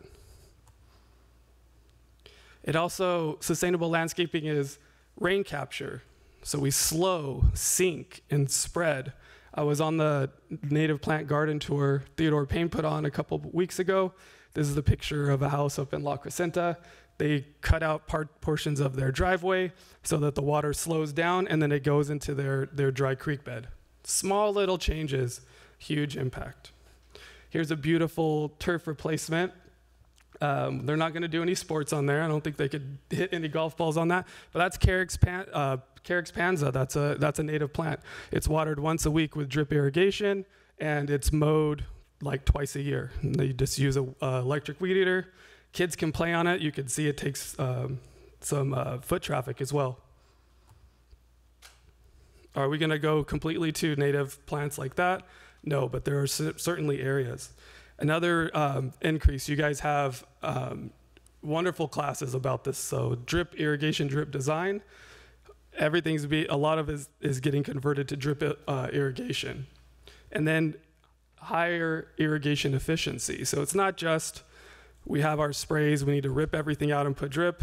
We need to learn how to maintain evaluate what we um, what we have on site. That's a big part of my job. You can see I have my little catch cans out there.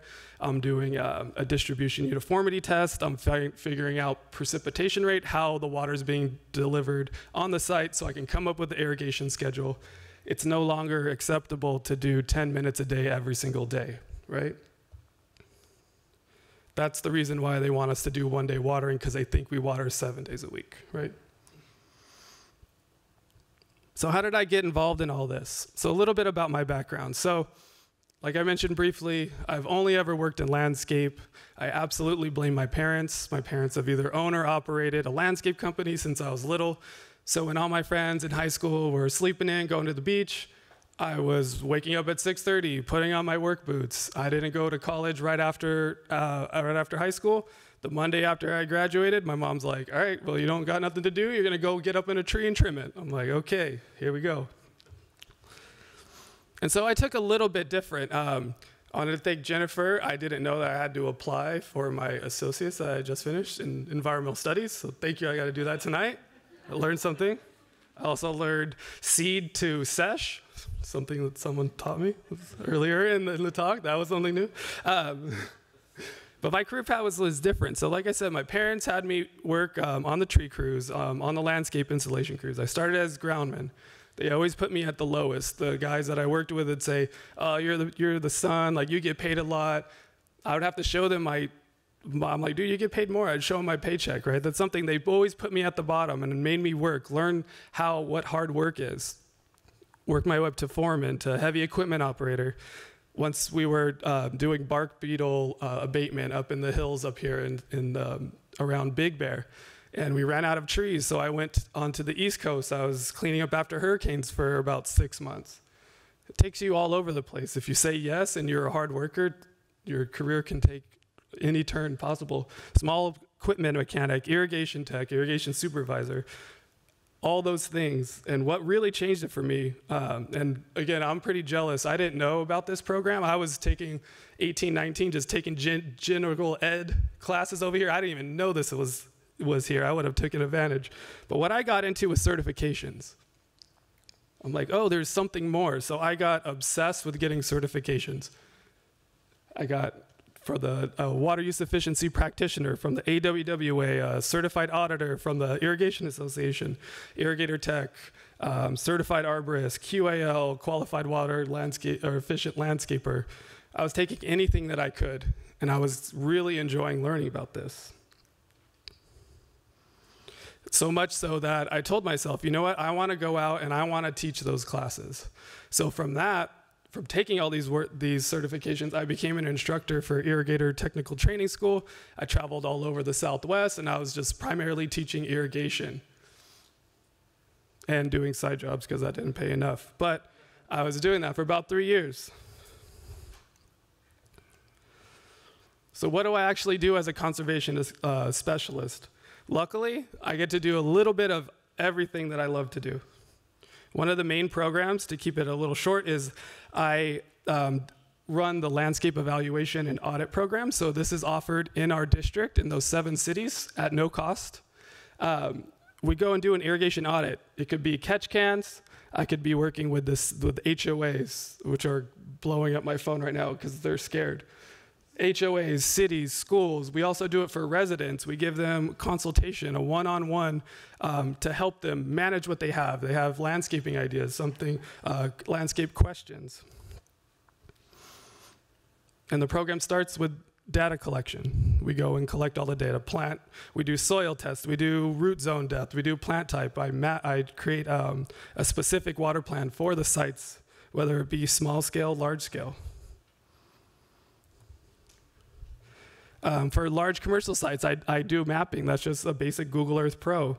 I create a water budget based on the landscape that they have, irrigation efficiency, and come up with a water management plan with, with all that data. If there's an ability for them to remove turf, non-functional turf, I'll highlight that for them. We'll work, I'll work with them to get the rebates, to get the funding.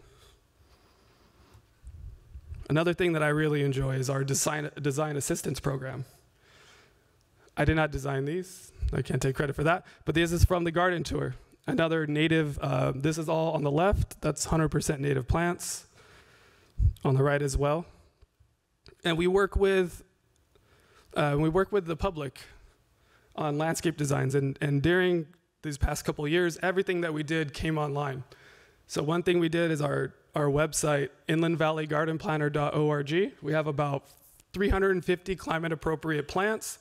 We also introduced this design palette. So we, we narrowed it down to about eight different palettes for people to, to, um, to highlight. We did large front yard, medium, and small based on the average uh, size homes in our service area. And so this is an example of a rendering for the butterfly songbird garden. So this is somebody's front yard where it's going to bring in the butterflies and the songbirds um, all year long. It also gives detailed uh, construction details. Uh, we go over irrigation scheduling and everything like that. Something we worked really hard on. Another thing that we do is we teach workshops. Uh, we just started doing them in person. I did irrigation basics um, in the garden for the first time. I've been doing these online uh, for Zoom, and it's not been great. Uh, we also do professional training. And then every single workshop that we've done, we have over two, uh, 20 topics. They're all on our YouTube channel, cbwcd.org slash YouTube. And so how can you get into water conservation? Because it's, it's a little broad. That's just a little taste of it. That's what we do. Um, but things that really help for water conservation, whether it be in the private sector, work for a county like myself, or work for the state, experience, right? Hard thing to get if, if we don't have the job, but landscape design, landscape maintenance, like myself, irrigation design and maintenance, arboriculture, any kind of, because uh, you need to be able to talk with, with, um, talk with people, with the public. Obtaining certifications, that's the route that I took. There's the QWEL certification, Water Use Efficiency Practitioner, CLCA uh, Certified Water Manager, Certified Irrigation Auditor uh, per, the professional certificates that, that are offered here. Huge, huge things. We get people applying for jobs. Uh, it looks really highly of them that they, they, they come to the classes offered here. And then obtaining a degree, horticulture, ornamental horticulture, geology, environmental science, plant science, hydrology, anything in the earth sciences uh, looks good when thinking of the whole of sustainability for uh, water management. And paid internships if you can't get them. We just um, brought two people on board. Um, half of the time they're working with me, big water management plans. The other uh, half the time they're learning how to take care of uh, plants and um, in our demonstration garden and irrigation in our demonstration garden. So always look for, for, for those if you're, if you're able to. And so I talked with our hiring manager. Um, I wanted to make sure I had some good um, perspective questions for you to ask an employer. And the first one is what are the most challenging aspects of a job? Something to ask at the end. Whenever someone asks us about that, to me, it, it makes me feel like, oh, okay, they're looking for like, what's the, what are the challenges? And then they can reply and be like, I, I understand, and this is how they would kind of go about it. Shows, shows a lot of, um, uh, lot of grit. In, if given the position, what's the potential for growth over time? And you don't want to necessarily say like, hey, when can I become a manager? But you want to say over time, right? You want to say, hey, what's the what's the potential growth over time? Is there room to um, to go from here? And then lastly, what would a successful first year look like for this position? Right? So you're asking them, hey, once I kind of get set, once the person gets settled in, what, what would be a success in your eyes for that position? And we could talk all about water conservation. I don't want to take too much of your time, but if you have any questions, please feel free to ask me, or there's my email. Um, again, if you haven't been to our facility, we're located right here in Montclair. Um, highly recommend it. You can go to the front desk and ask for me. I could give you a full garden tour. takes maybe 30 minutes to sometimes a couple hours, depending on how much we're going to chat. Any questions? Outstanding. Oh, thank you. Oh, I mean, I have one question. Yeah. Besides the retention basins, is there like more methods that you use to conserve water? Yeah, absolutely. Yeah. So that's that's that's big picture, right? R- recharging our um, our aquifers is a big thing. So art we're de- we're de- um, we're focused on the demand side. So just working with our community. Like I said, I work with cities, schools. Getting uh, one of the things that really shocked me, not not necessarily because I've been on all three sides of a board meeting, right? I've been the landscaper where they're telling me I'm doing a bad job. I've been a consultant third party where I'm telling them, hey, this is what you should do, and nobody wants to hire me because it's too expensive. And then now it, I kind of found the sweet spot. Um, I'm lucky in that aspect that I don't have to charge a ton of money for my expertise, which is which is a good thing. I know how to talk to the contractors because I've I've been a contractor. I know what it's like. I know when the people are telling me, they tell me, "Oh, well, why aren't you putting in drip irrigation? Why aren't you replacing this?" And I would pull out a packet of all my bids they didn't approve. Right? I, I gave that to you six months ago. Right? Um, so that's kind of our focus, working with people that are actually boots on the ground doing the management um, and consulting and even working with the other water agencies. That's, that's our main focus. I do track, um, as someone that goes through my landscape evaluation program, I do track their water uses five years leading up to the intervention with me, and then I do it for a year to two years after. So I do see if they actually saved. So we do programmatic evaluations, um, but um, that's kind of the focus. Yeah. Hopefully they listen to us, right? Maybe they will now. Anything else? No? Okay. Oh, yep. What do you think the top three uh, water certificates are in the industry right now, strike out that you've? The top three. Um, good question. So, depends on what you want. So, for this job in particular, the Irrigations Association's uh, certified landscape irrigation auditor. Um, so, that will surprise you how much of a spreadsheet goes into irrigation, right? I'm sure you guys know you take these classes. Figuring out precipitation rate, soil infiltration rate, slope, uh, root zone depth, right? It could get really, really um, intense. That, that's a great one. Um, also, the qualified water efficient landscaper, the QWEL, that one um, is offered at no cost. If you look for that, uh, Metropolitan Water District is um, hosting those, and they do them online as well.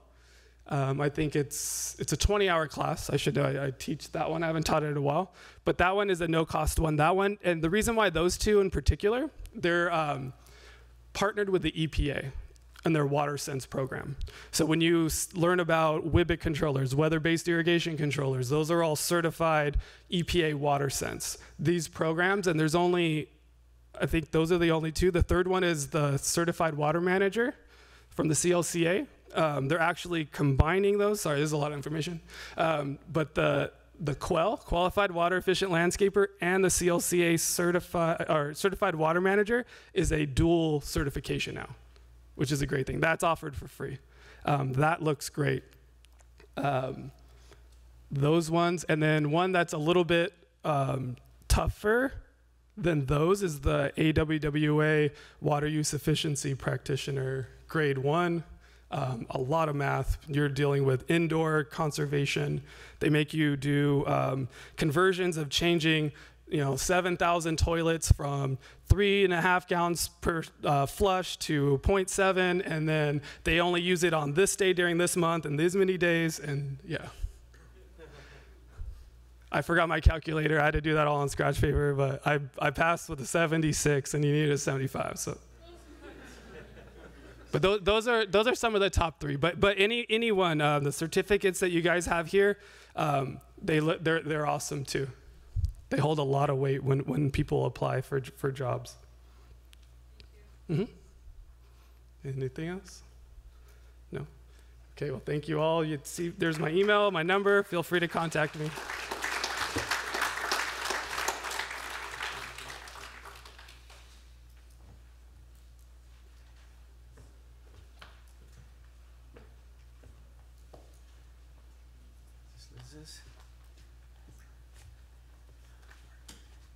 So I forgot to mention this is being recorded, um, and yeah, so you know I always do that at the end, right? You know that's a disclaimer. So anything you said can and will be held against you for sure. But it's going to be available after it gets closed captioned. It'll be available uh, next week sometime on the Mount Sac YouTube channel. Did you even know Mount Sac had a YouTube channel? All right. Well, you're going to know now. All right. You'll be able to find this here. So that'll be a great thing. And Brandon, thank you for sharing about the, um, what was it, the songbird and butterfly garden. I'm going to send you my landscape design in my house. It's the, the rattlesnake, coyote, and ground squirrel garden. All right. That's what I tend to attract. Uh, I don't know if that's an official good thing or bad thing, but uh, what, what's that? Donkey? Oh yeah, that's in Arizona. Got plenty of those. They're eating my Phoenix roebeleniis in Arizona. The donkeys are. Swear to you. All right, honest truth. And then they poop in my driveway. Okay. Uh, can't make this stuff up. So. All right. Oh, let's see. Where am I? Really, you guys know me in my class. Off ramps all the time, right? Just out there. Okay. So, our next speaker. Now, this is the part of the evening where we call it the Mount Sac experience, all right? Um, the good, the bad, and the ugly, maybe we can call it, you know, whatever. Just bear the whole truth and nothing but the truth. But this is, this is really uh, fun to have students that come back and talk about, you know, where they're at now and some of the things they went through. Our first speaker, she, uh, wow, there's a lot to say about her. It's just, this is a smile that lights up the room. But one of the coolest experiences was a Calico camping trip that we're going to be doing again in October, by the way. And I'm like, gosh, she just goes up the side of the mountain like the like the bighorn sheep. She just boom right up the side. Uh, just had a have a blast. Uh, she does everything she does. She enjoys doing, and just it just uh, is evident in that. So I'm not gonna delay any longer. I want to introduce Liz Mendoza to you guys, and she's gonna come up and share her Mount Sac experience.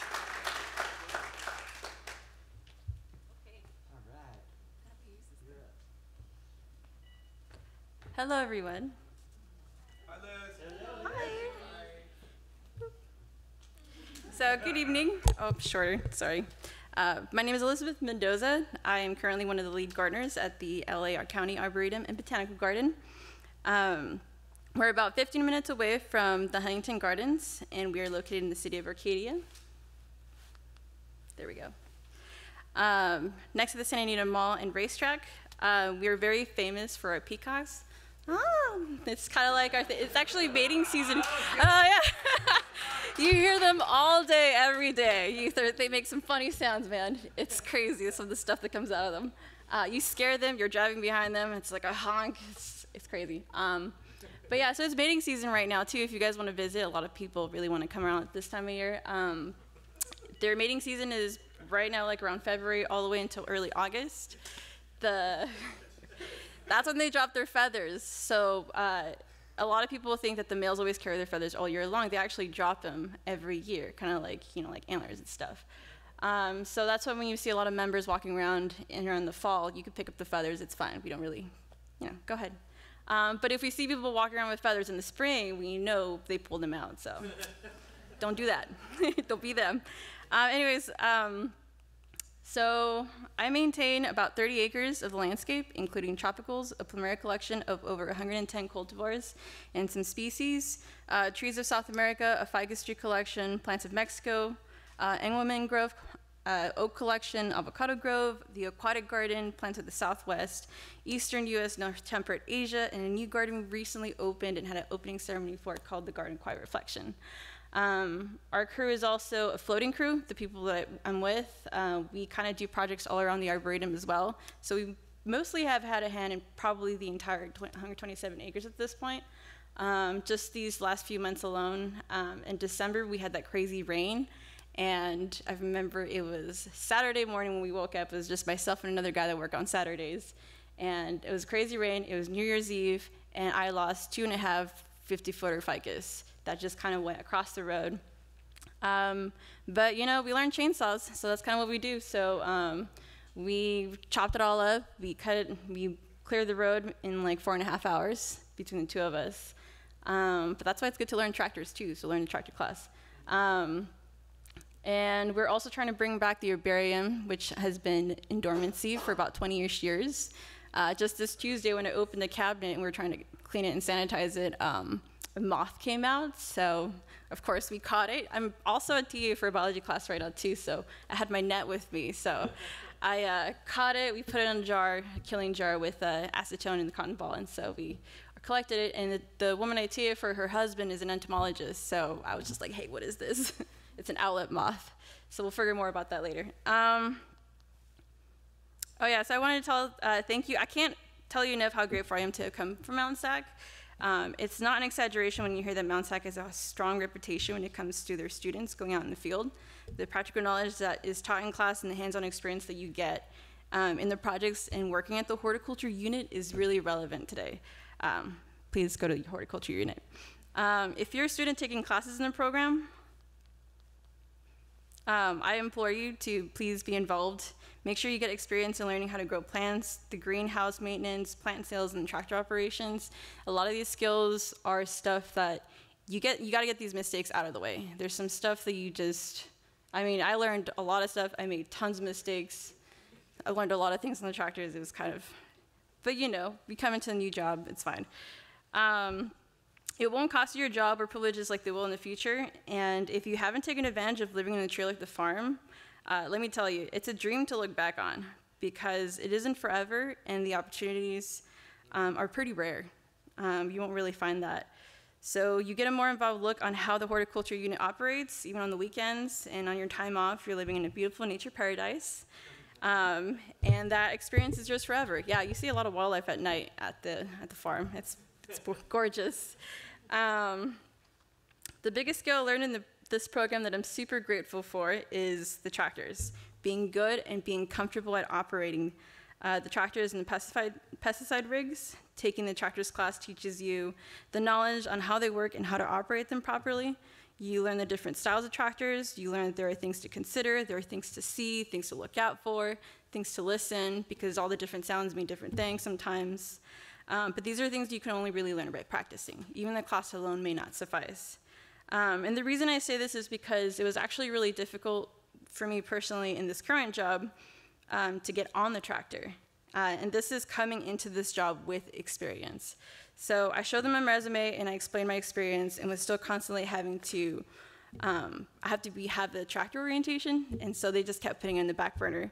But once they finally let me have that orientation, I saw that I was being trained with two other guys that had zero experience riding the thing.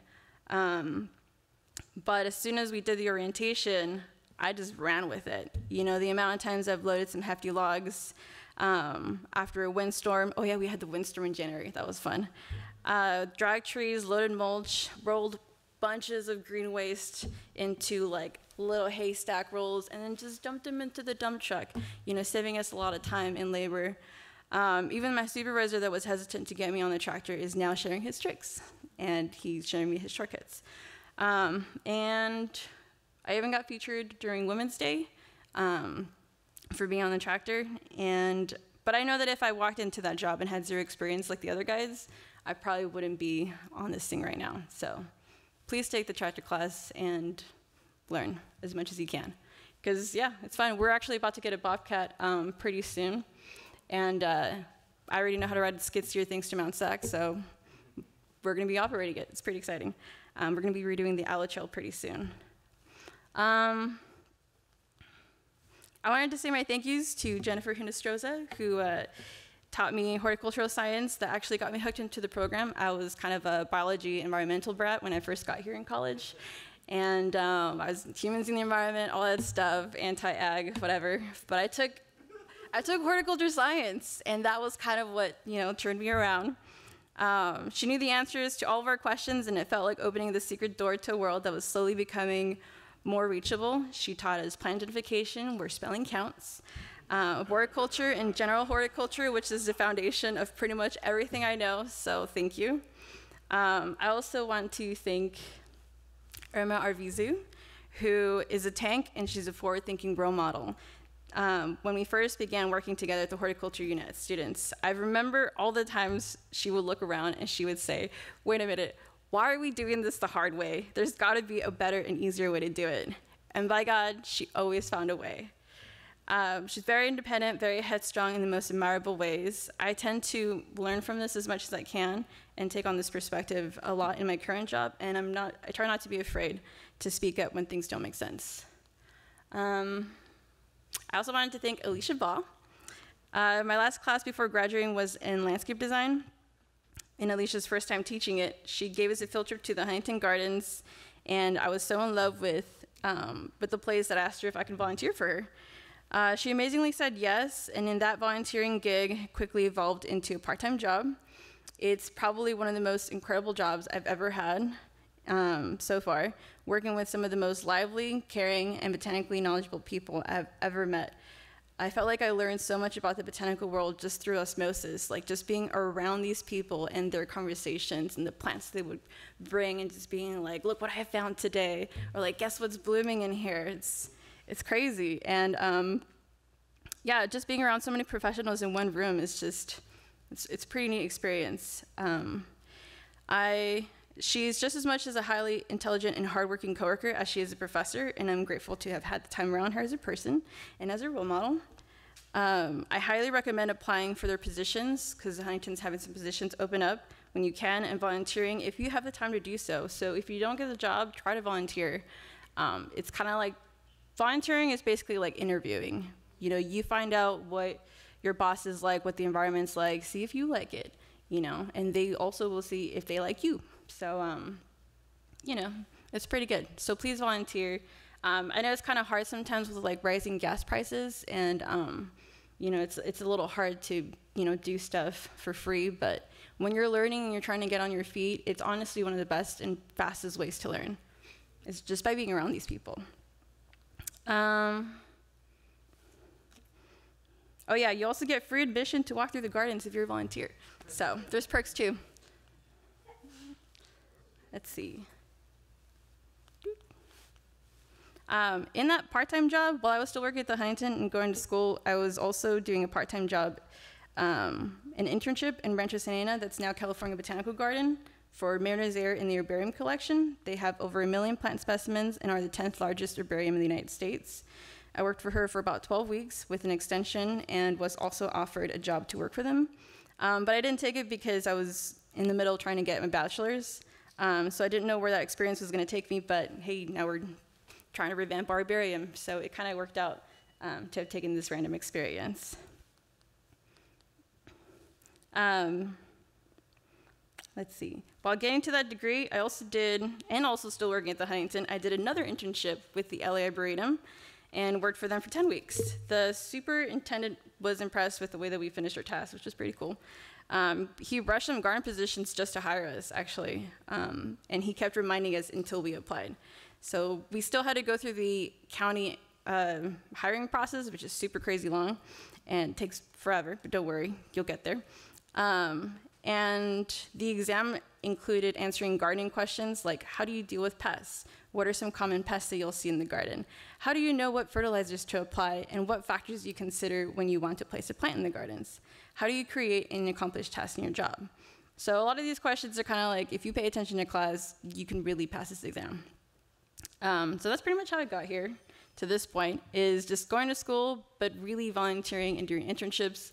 Doesn't even involve the side jobs and stuff, working in people's houses, just get out there um, while you're still learning as much as you can.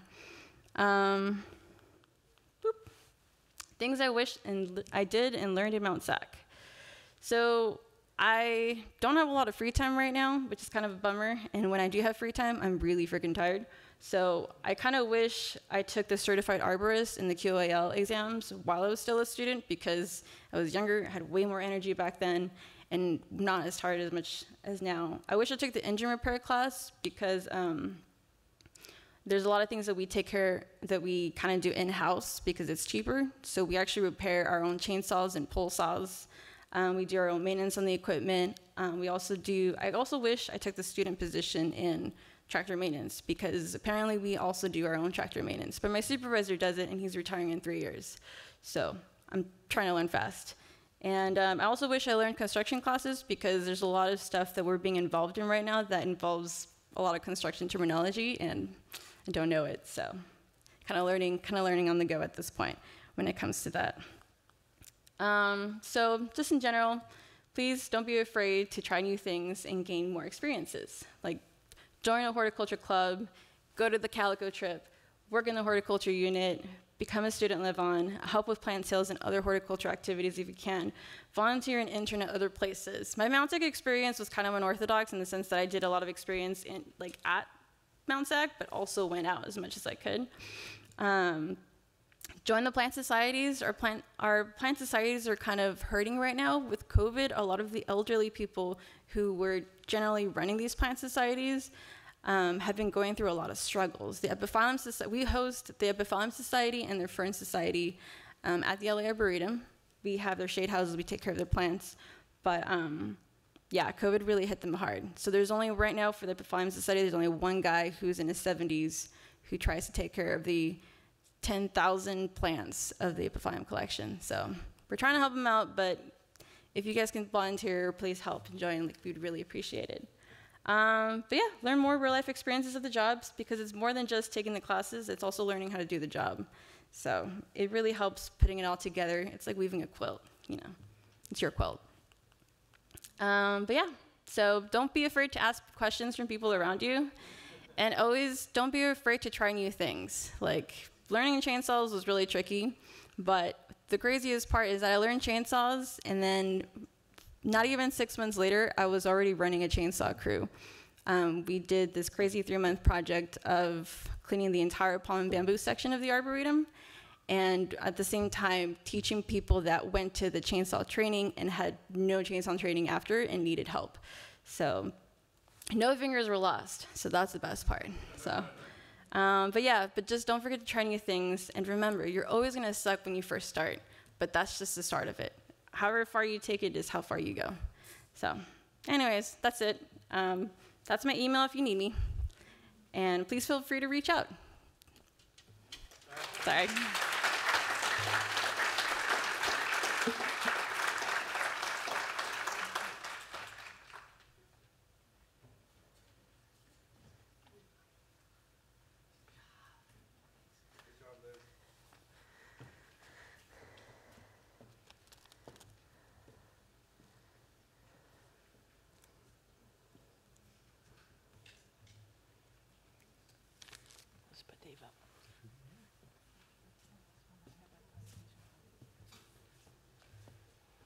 Ruben, are you here? He's hiding somewhere, right? He's like incognito. So, all right, our next speaker. Wow, where do I start with Ruben, who is now the manager of grounds at Mount Sac here? He uh, talk about spending a lot of hours at the horticulture unit and, and helping, you know, Jesus and Dave build something great. Uh, Ruben started off here probably when he was like five years old, I think maybe, but but really he's he's put you know blood, sweat, and tears into into the program here at Mount Sac in a lot of different ways. And I don't know how many of you guys have had a chance to meet him. Appreciate. I know you've seen the work that he was involved with at one point in time, even if you don't realize that if you've been at the horticulture unit. And it's really a cool opportunity to see him um, move up into different positions in the industry and land here at Mount Sac to be able to to do what he's doing for the entire campus now. So um, I'm going to let him finish his story with you guys. So Ruben, Give a hand for Ruben. All right, Ruben Flores.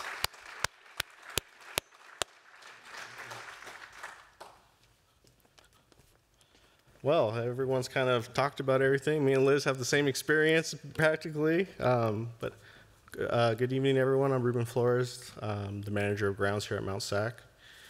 Um, so a little bit, I wish I had time to talk about my whole story, like my story before Mount Sac story, but um, I'll just stick to the Mount Sac story. So, like Brian was saying, um, yeah, I started here right after high school. I actually moved onto campus the night before uh, fall of 2008, before uh, fall semester. So from then, I was a live-on um, student worker. I helped uh, with the horticulture club. I was president for a few years. Um, participated in landscape competitions. We did plant sales all throughout the year. Um, helped with a lot of uh, plant setups for different events across campus. And I'm sorry if anyone works at the Hort unit and you have staff that come by still and say, hey, I need plants for an event, and expect you to do it on a whim because usually I'd accommodate. um, so with that, uh, yeah, I spent about six years living on campus, um, just primarily taking night courses. Uh, it took me a little, little while, um, but I got it done. And uh, like Liz was saying, it, it's such a great experience if you if you get the chance to do it. Um, I wasn't anticipating on moving out right after high school, but it happened, and um, you know I, I, I don't regret a second of it. Um, Dave Lanham was my mentor. Uh, I got to spend quite a bit of time with him uh, on the daily, and I know my professor from my high school ag uh, program. He was always in awe of Dave, and for those of you who have, met him and had a chance to you know learn under him, he was a like a superstar in the industry and my professor always was like, "Oh my goodness, you get to have lunch with Dave Lanham." he just thought it was the coolest thing. Um, but Dave, Dave Lanham and Jesus Ramirez definitely were my my mentors throughout the program. Um, and just looking up front, you know, Jennifer, Brian, and even and Chaz, those uh, you guys have great resources, you know, right in front of you.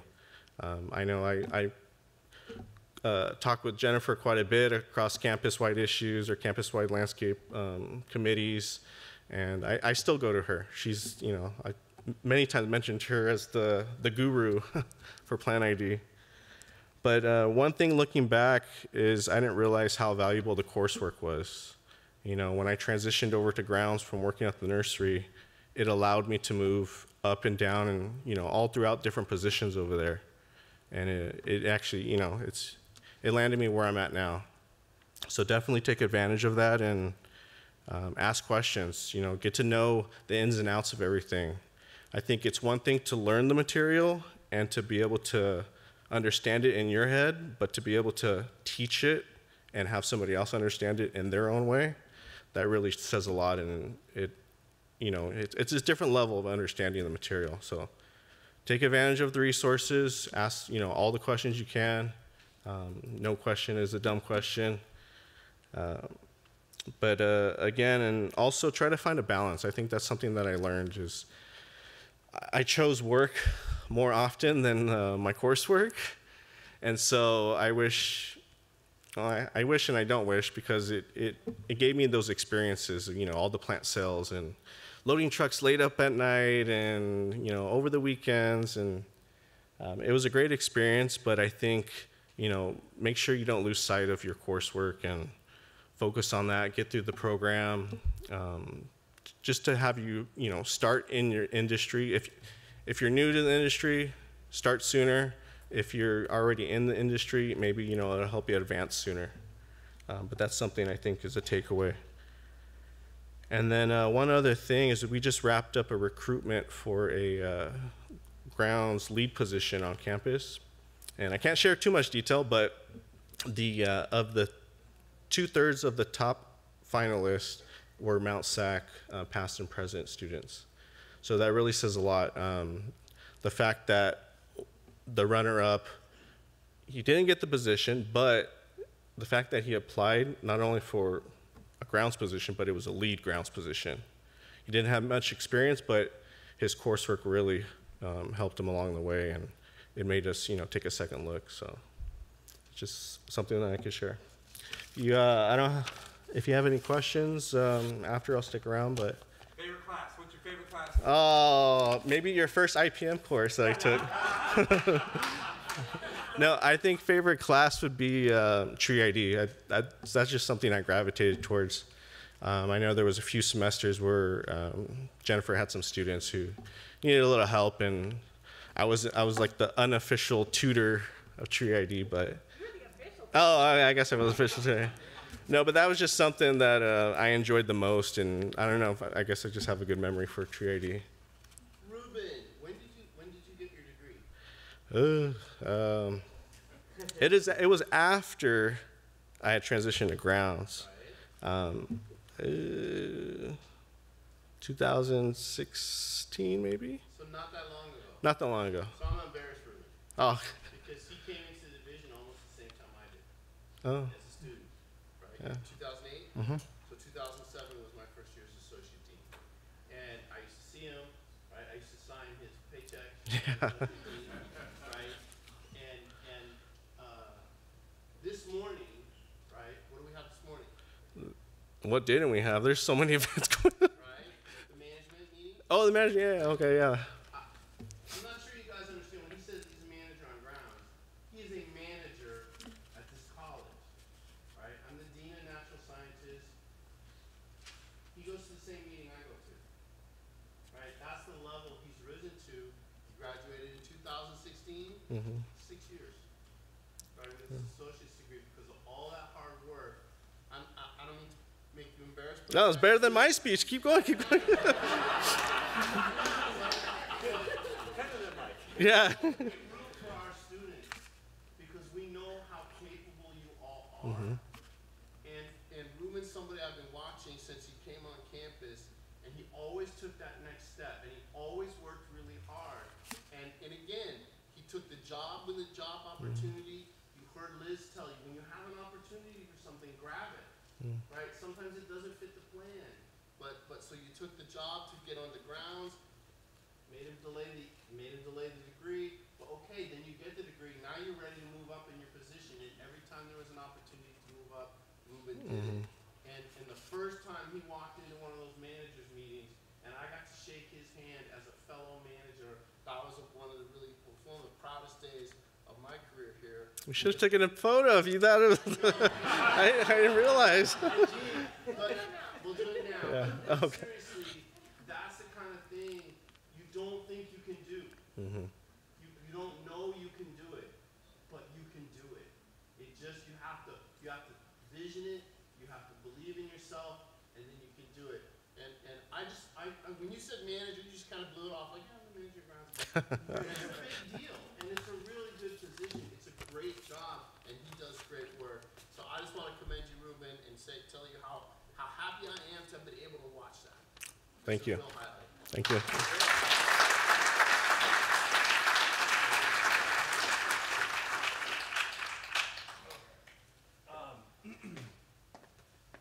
So earlier, hi Sarah. Earlier, Jeanette said PCAs. I think the descriptors were critical and essential. And essential, not just during a pandemic. We're talking all the time.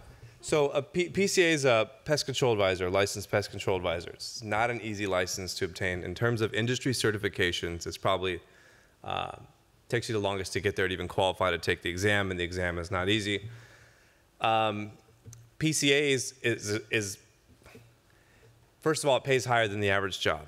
And you see more stuff and you do more problem solving. And in short, it's, it's a great niche in the industry, and a lot of the PCAs are phasing out. And so, as a PCA, being a member of the California PCA uh, Association, they're, they're constantly telling you that they're, they're transitioning out. These folks are retiring. They've made a great career and they're retiring, and there's a need to fill those roles. And our integrated pest management associate's degree is suited to meet that, uh, the educational requirements for that exam. You need work experience in addition to completing the IPM degree to qualify for the PCA exam. If not, you need to have a four-year degree in an ag, ag-related field, ag or plant science, just to sit to take the exam. And then once you do your practicing, then you're an essential and critical component of the ag industry, or turf and ornamental. And uh, so, so Sarah you know, Sarah, st- Sarah stumbled into IPM, and I, and I and stumble's probably a bad word. She it's like she sniffed IPM out, and then it's been years, but my memory of Sarah is that she was just even when she was talking to me, she was moving forward, like there was just a level of forward movement and engagement, and I and I remember thinking like, this one, this one's going somewhere, and like even if it's not with us, she's she's gonna capture whatever it is that she's moving towards, and and I think she's a great example of. Uh, of a niche that many of our many other of our students can fill in a very fulfilling career role. So I'm gonna let her come up here and tell the rest. Sarah, thank you so much for coming.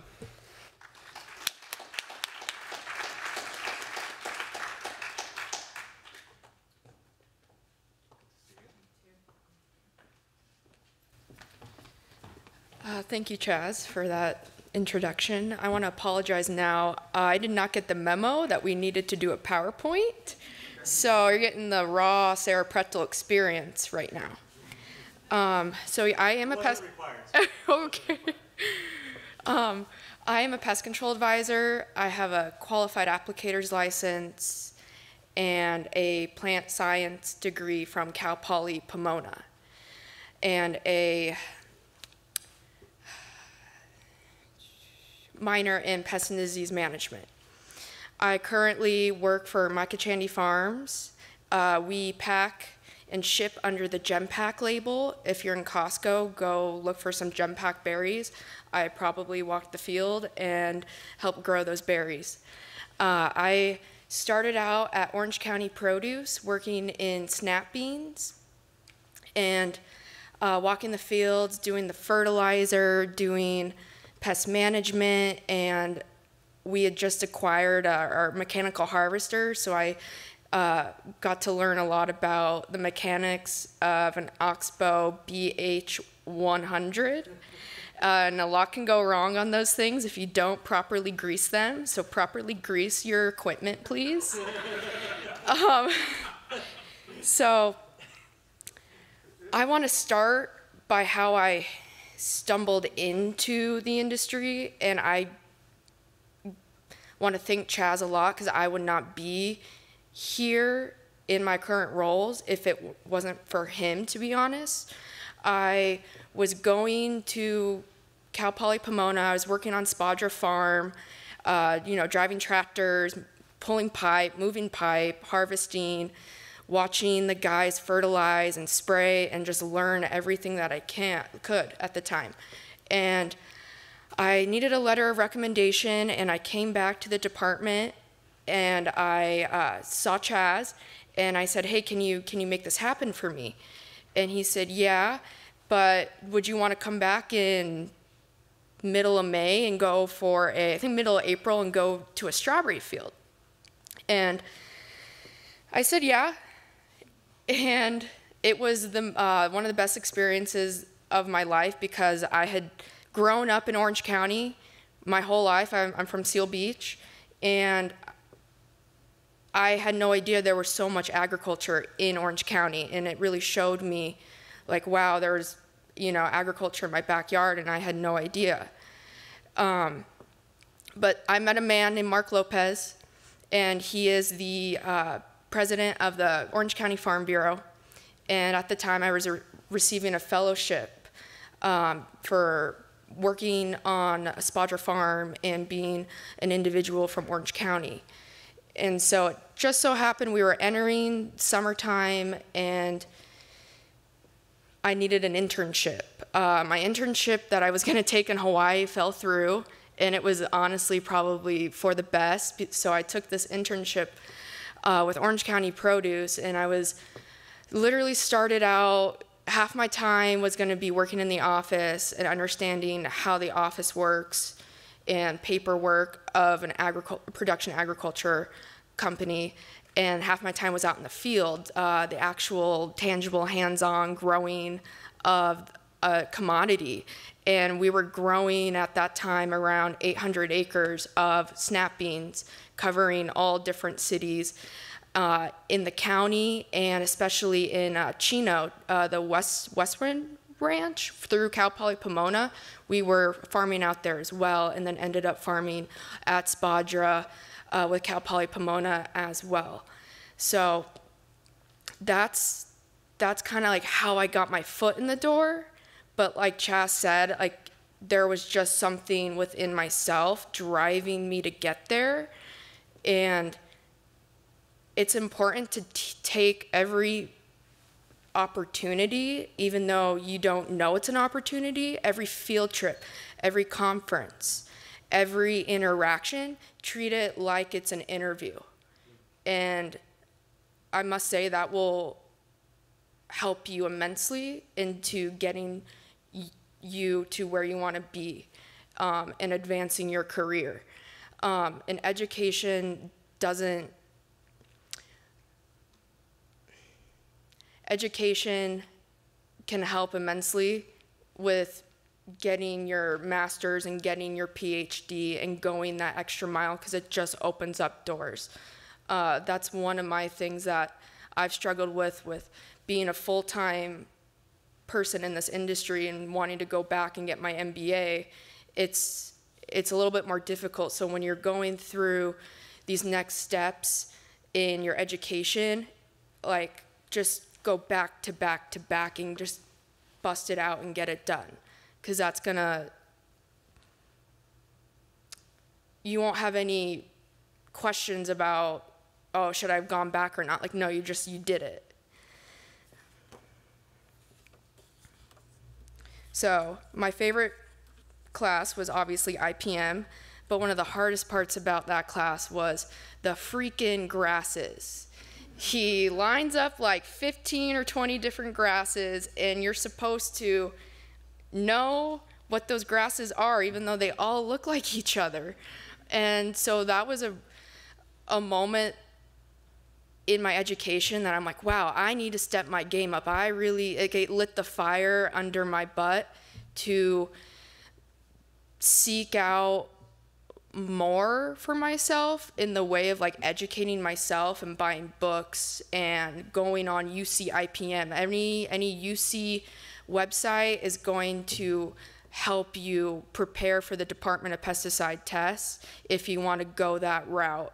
And another thing is about that class was there's so many mini tests that those questions are actually in the test, the pest control advisor test, and the qualified applicator's license test.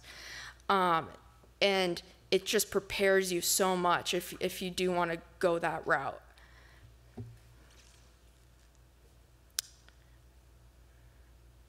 Excuse me? Um, one of my mentors I mentioned was Mark Lopez. Uh, he he's a qualified applicator. He worked for started out at Home Oil, and then now it's called Orange County Land Management. And he is the spray guru of the county, and it's so important if you're working with elders, if you're working with people between 55 and 75, it's so important to suck every piece of information from them because the moment they leave that industry, that knowledge is taken away with them. So if we don't pass that those tools down properly, we could potentially have a great gap in in the food production system. So another thing is um, Orange County Farm Bureau is a great resource. And if you guys are seeking a more interactive industry to education and what need to seek resources, Orange County Farm Bureau is a great organization to have and to be a part of and it will open doors. So no matter what county you're going to end up working in, seek out Farm Bureau because you're going to learn so much on water conservation, on regulatory issues that are coming down the pipeline, and just the network alone that it provides uh, will be a great tool for you.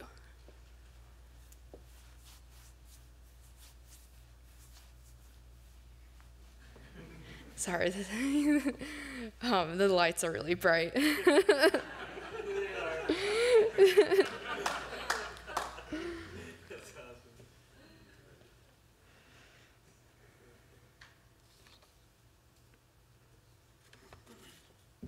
So, one thing that I wish I knew back then was pr- properly preparing for the classes to to get everything out of them. You know, you pay for these classes, you truly do make it your own, and if you just sit in class and don't ask questions, then you're doing yourself a disservice. So, I, I wish I took the syllabus at the beginning of the term and just went topic by topic and researched those topics and then had a bank of questions to come to class with because that interaction between the teacher and the student is so important. And most of the time the teachers have one foot in the industry and one foot in education. So they bring so much tangible life experience to the education aspect. And something that makes that a little bit different. I mean you have your universities. A lot of them are research focused but mount sac truly focus on the individual in shaping them to be ready for the industry. So the tractor classes, the en- the engine repair classes, the nursery classes, the propagation classes, like you use all of that in the industry, and that's something you're not going to find most of the time at a four-year four-year university. So I think that's one of the greatest things about Mount SAC is that it combines industry and real life with career Does anybody have any questions? Can you see past the second row? No, I can't. It's really. What, what's the day to day like? What's the day to day like being a PCA? What do you? Okay, so I I currently drive around to Santa Barbara County and Ventura County and Orange County. I go to Santa Maria about once a week and uh, Ventura once a week, walking strawberry fields. Uh, the rest of the time, I'm in Orange County walking strawberry fields, and I currently walk the 100 acres of bell peppers in Seal Beach. Uh, shout out Syngenta. I love the Actara and I love the Warrior. they get me through pepper weevil season, and pepper weevil is no joke. Like, that is the most like economically destructive pest to uh, to bell pepper crop. Uh, they literally, and you can't you can't really see what they're doing, so that makes it so much harder to actually scout for the pests. We use these pheromone traps, and you just gotta track where they're moving, because the once they're there and the damage has happened, the dam- I mean, it's done. The the the tiny bell pepper drops from the stalk, and you're never getting it back. It's like you gotta wait for the next flush, which is weeks out, and you're, you know, you're trying to tell the grower uh, what happened and why there's a gap. So it's it's was a learning curve for me going from snap beans to strawberries and then going to bell peppers because it's um it's definitely a different type of crop and vegetable. Um, my next job is working with uh, Glenn Tanaka and Jimmy Otsuka and uh, growing strawberries in a hydroponic setting, which I had never worked with, never, never done before. And it's been one of the most rewarding experiences with going back to these farmers who have so much experience, who have so much life knowledge, and being able to extract things from them that I wouldn't be able to get if I weren't working with them. And it's um it's really grown grown my heart and my my head, so my knowledge. If, if you wanted to be a PCA, what, what advice would you give to someone who may be thinking about being a PCA? What, what might they, personality traits, or what can they expect from the job? What would they like to do? If you can't tell, my face is really red because I forgot to put sunscreen on. So if if you're somebody who's like me, please apply a lot of sunscreen because you're gonna be outside. you're gonna be outside for basically like an eight-hour work shift. Like you're gonna be working from your truck. They're gonna give you a laptop. They're gonna give you a phone, and you're you're it's all hands on deck at that point you're walking acres you're walking really really cruddy ground that you can trip on. So you know strengthen your ankles strengthen your body. Because it's just this is real life man. I'm giving you real life experiences. And um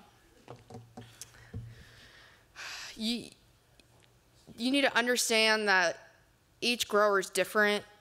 Each one has a different tolerance for pests, and there's a finesse aspect to this of finessing the grower, because because they are, they don't always want to want to do what you're recommending.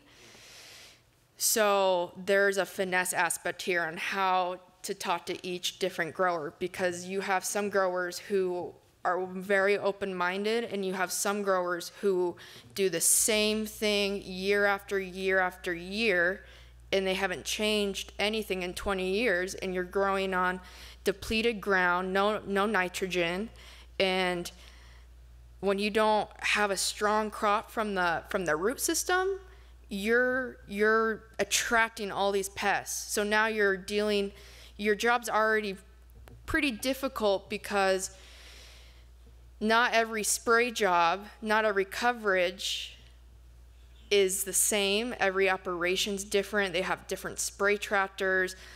They I won't say the name, but some of them, you know, their tractor's leaking oil, so you, you got to fix that. So it's like every year I got to tell this one grower, hey, your your tractor's leaking oil. Oh, thanks for the heads up. So there's so much more than just there's so much more than just like caring for the crop. It's it's understanding all the outside aspects, all the, the cultural aspects of what's going on and, and the weather. The weather is something that changes so drastically, and the last two years have been dry, and the wind has been insane from Santa from Watsonville all the way, you know, no, from San Joaquin Valley all the way down to Baja, all the way down to San Quintin. So knowing when that weather shift's going to change and being basically like the uh, you're going to be like a weather person on on the news like that's the that's the, kind of like the mindset you have to be in because you could get a wind event and it could push a whole mite population into your strawberries while they're taking down 200 acres of avocados right next door so all those mites and everything that was in there just flew into your field and you can't do anything about it besides spray as best as you can and get the coverage as best as you can.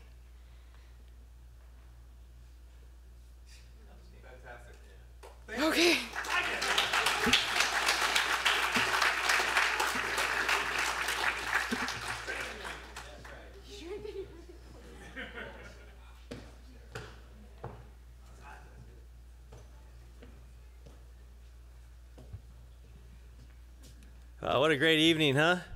One more hand for everybody. So I'm going to close this out just by saying a few more words about Dave Lanham, because Dave Lanham Career Night. And I tell this story once in a while, but uh, when I was straight out of high school, um, I was trying to figure out what to do, and my dad said, "Hey, I went on some field trips over to this school, Mount Sac, and we did some ag stuff, and I wonder what's over there." We drove out here, and David just started working here, and he was out dreaming about what he was going to build, and I met him, and Dave just like you know he just gets all fired up. I mean, it's I don't know. He just had it about him, and I came back to school here, and and then you know, many many years later, I called him up for a letter of recommendation and for uh, um, for something that I was doing, and he's all, "Hey, we got an opening, you know, why don't you apply?" And I did, you know, and then I was fortunate enough to get the job here, and then. Uh, and what Sarah said about extracting the information from people, you know, eh, she said, you know, the elderly, I, I'm, I, I'm there, you know. I mean, no, she didn't say that. 55 to whatever, you know, uh, I'm there, okay. But, but Dave, um, I, I, it was six years ago when we lost Dave, just prior to career night. I'll, I won't forget that. And and knowing that uh, the knowledge he had it's not gone. I mean, maybe some of it is, but you know, when I look around the room and, and who was directly involved with learning from Dave, like me, and who's, you know, the telephone game learned from Dave and the, or and pass that on in some way, shape, or form, and and his legacy is is going to live on forever around here, and we're we're committed to that. That's why we have the Dave Lanham Career Night, um, and that night that that we went on career night right after, uh, literally right after he had passed away, you know, and and having to face the future at Mount Sac without Dave around um, was sobering. But at the same time, we realized that that education is a really cool thing, and stuff like this is great because, you know, it, it's about what happens after we're we're not here anymore, not like necessarily when we're here. And so, as you guys go on and have learned stuff tonight and go on in careers, um, be very cognizant of the fact that, you know, carrying a torch and, and passing along and, and teaching people in whatever respect you're teaching in, whether it's in a classroom or in a training session or just t- teaching coworkers, you know, things. It's that's really important to do. Okay. And that's why I came back is to just kind of keep that going. And I know a lot of people like Chaz and Jennifer excuse me, Chaz and Jennifer and Gretchen and you know all of our other faculty that are here. They're, they're here for the same reason. I know you guys feel that, right? I mean, I know. I, hope that that really comes across. Uh, that that's why we are doing what we're doing. So, um, again, for Dave, you know, we're always going to miss you, Dave.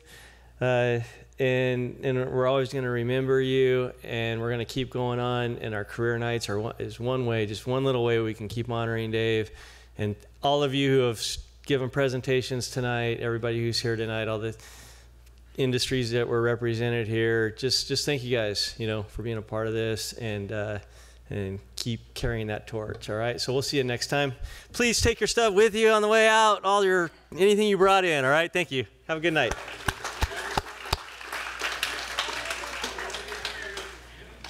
Don't forget your strawberries. Don't forget the berries. Sorry. Oh, and don't forget to look at the raffle on the way out. All the tickets, all right?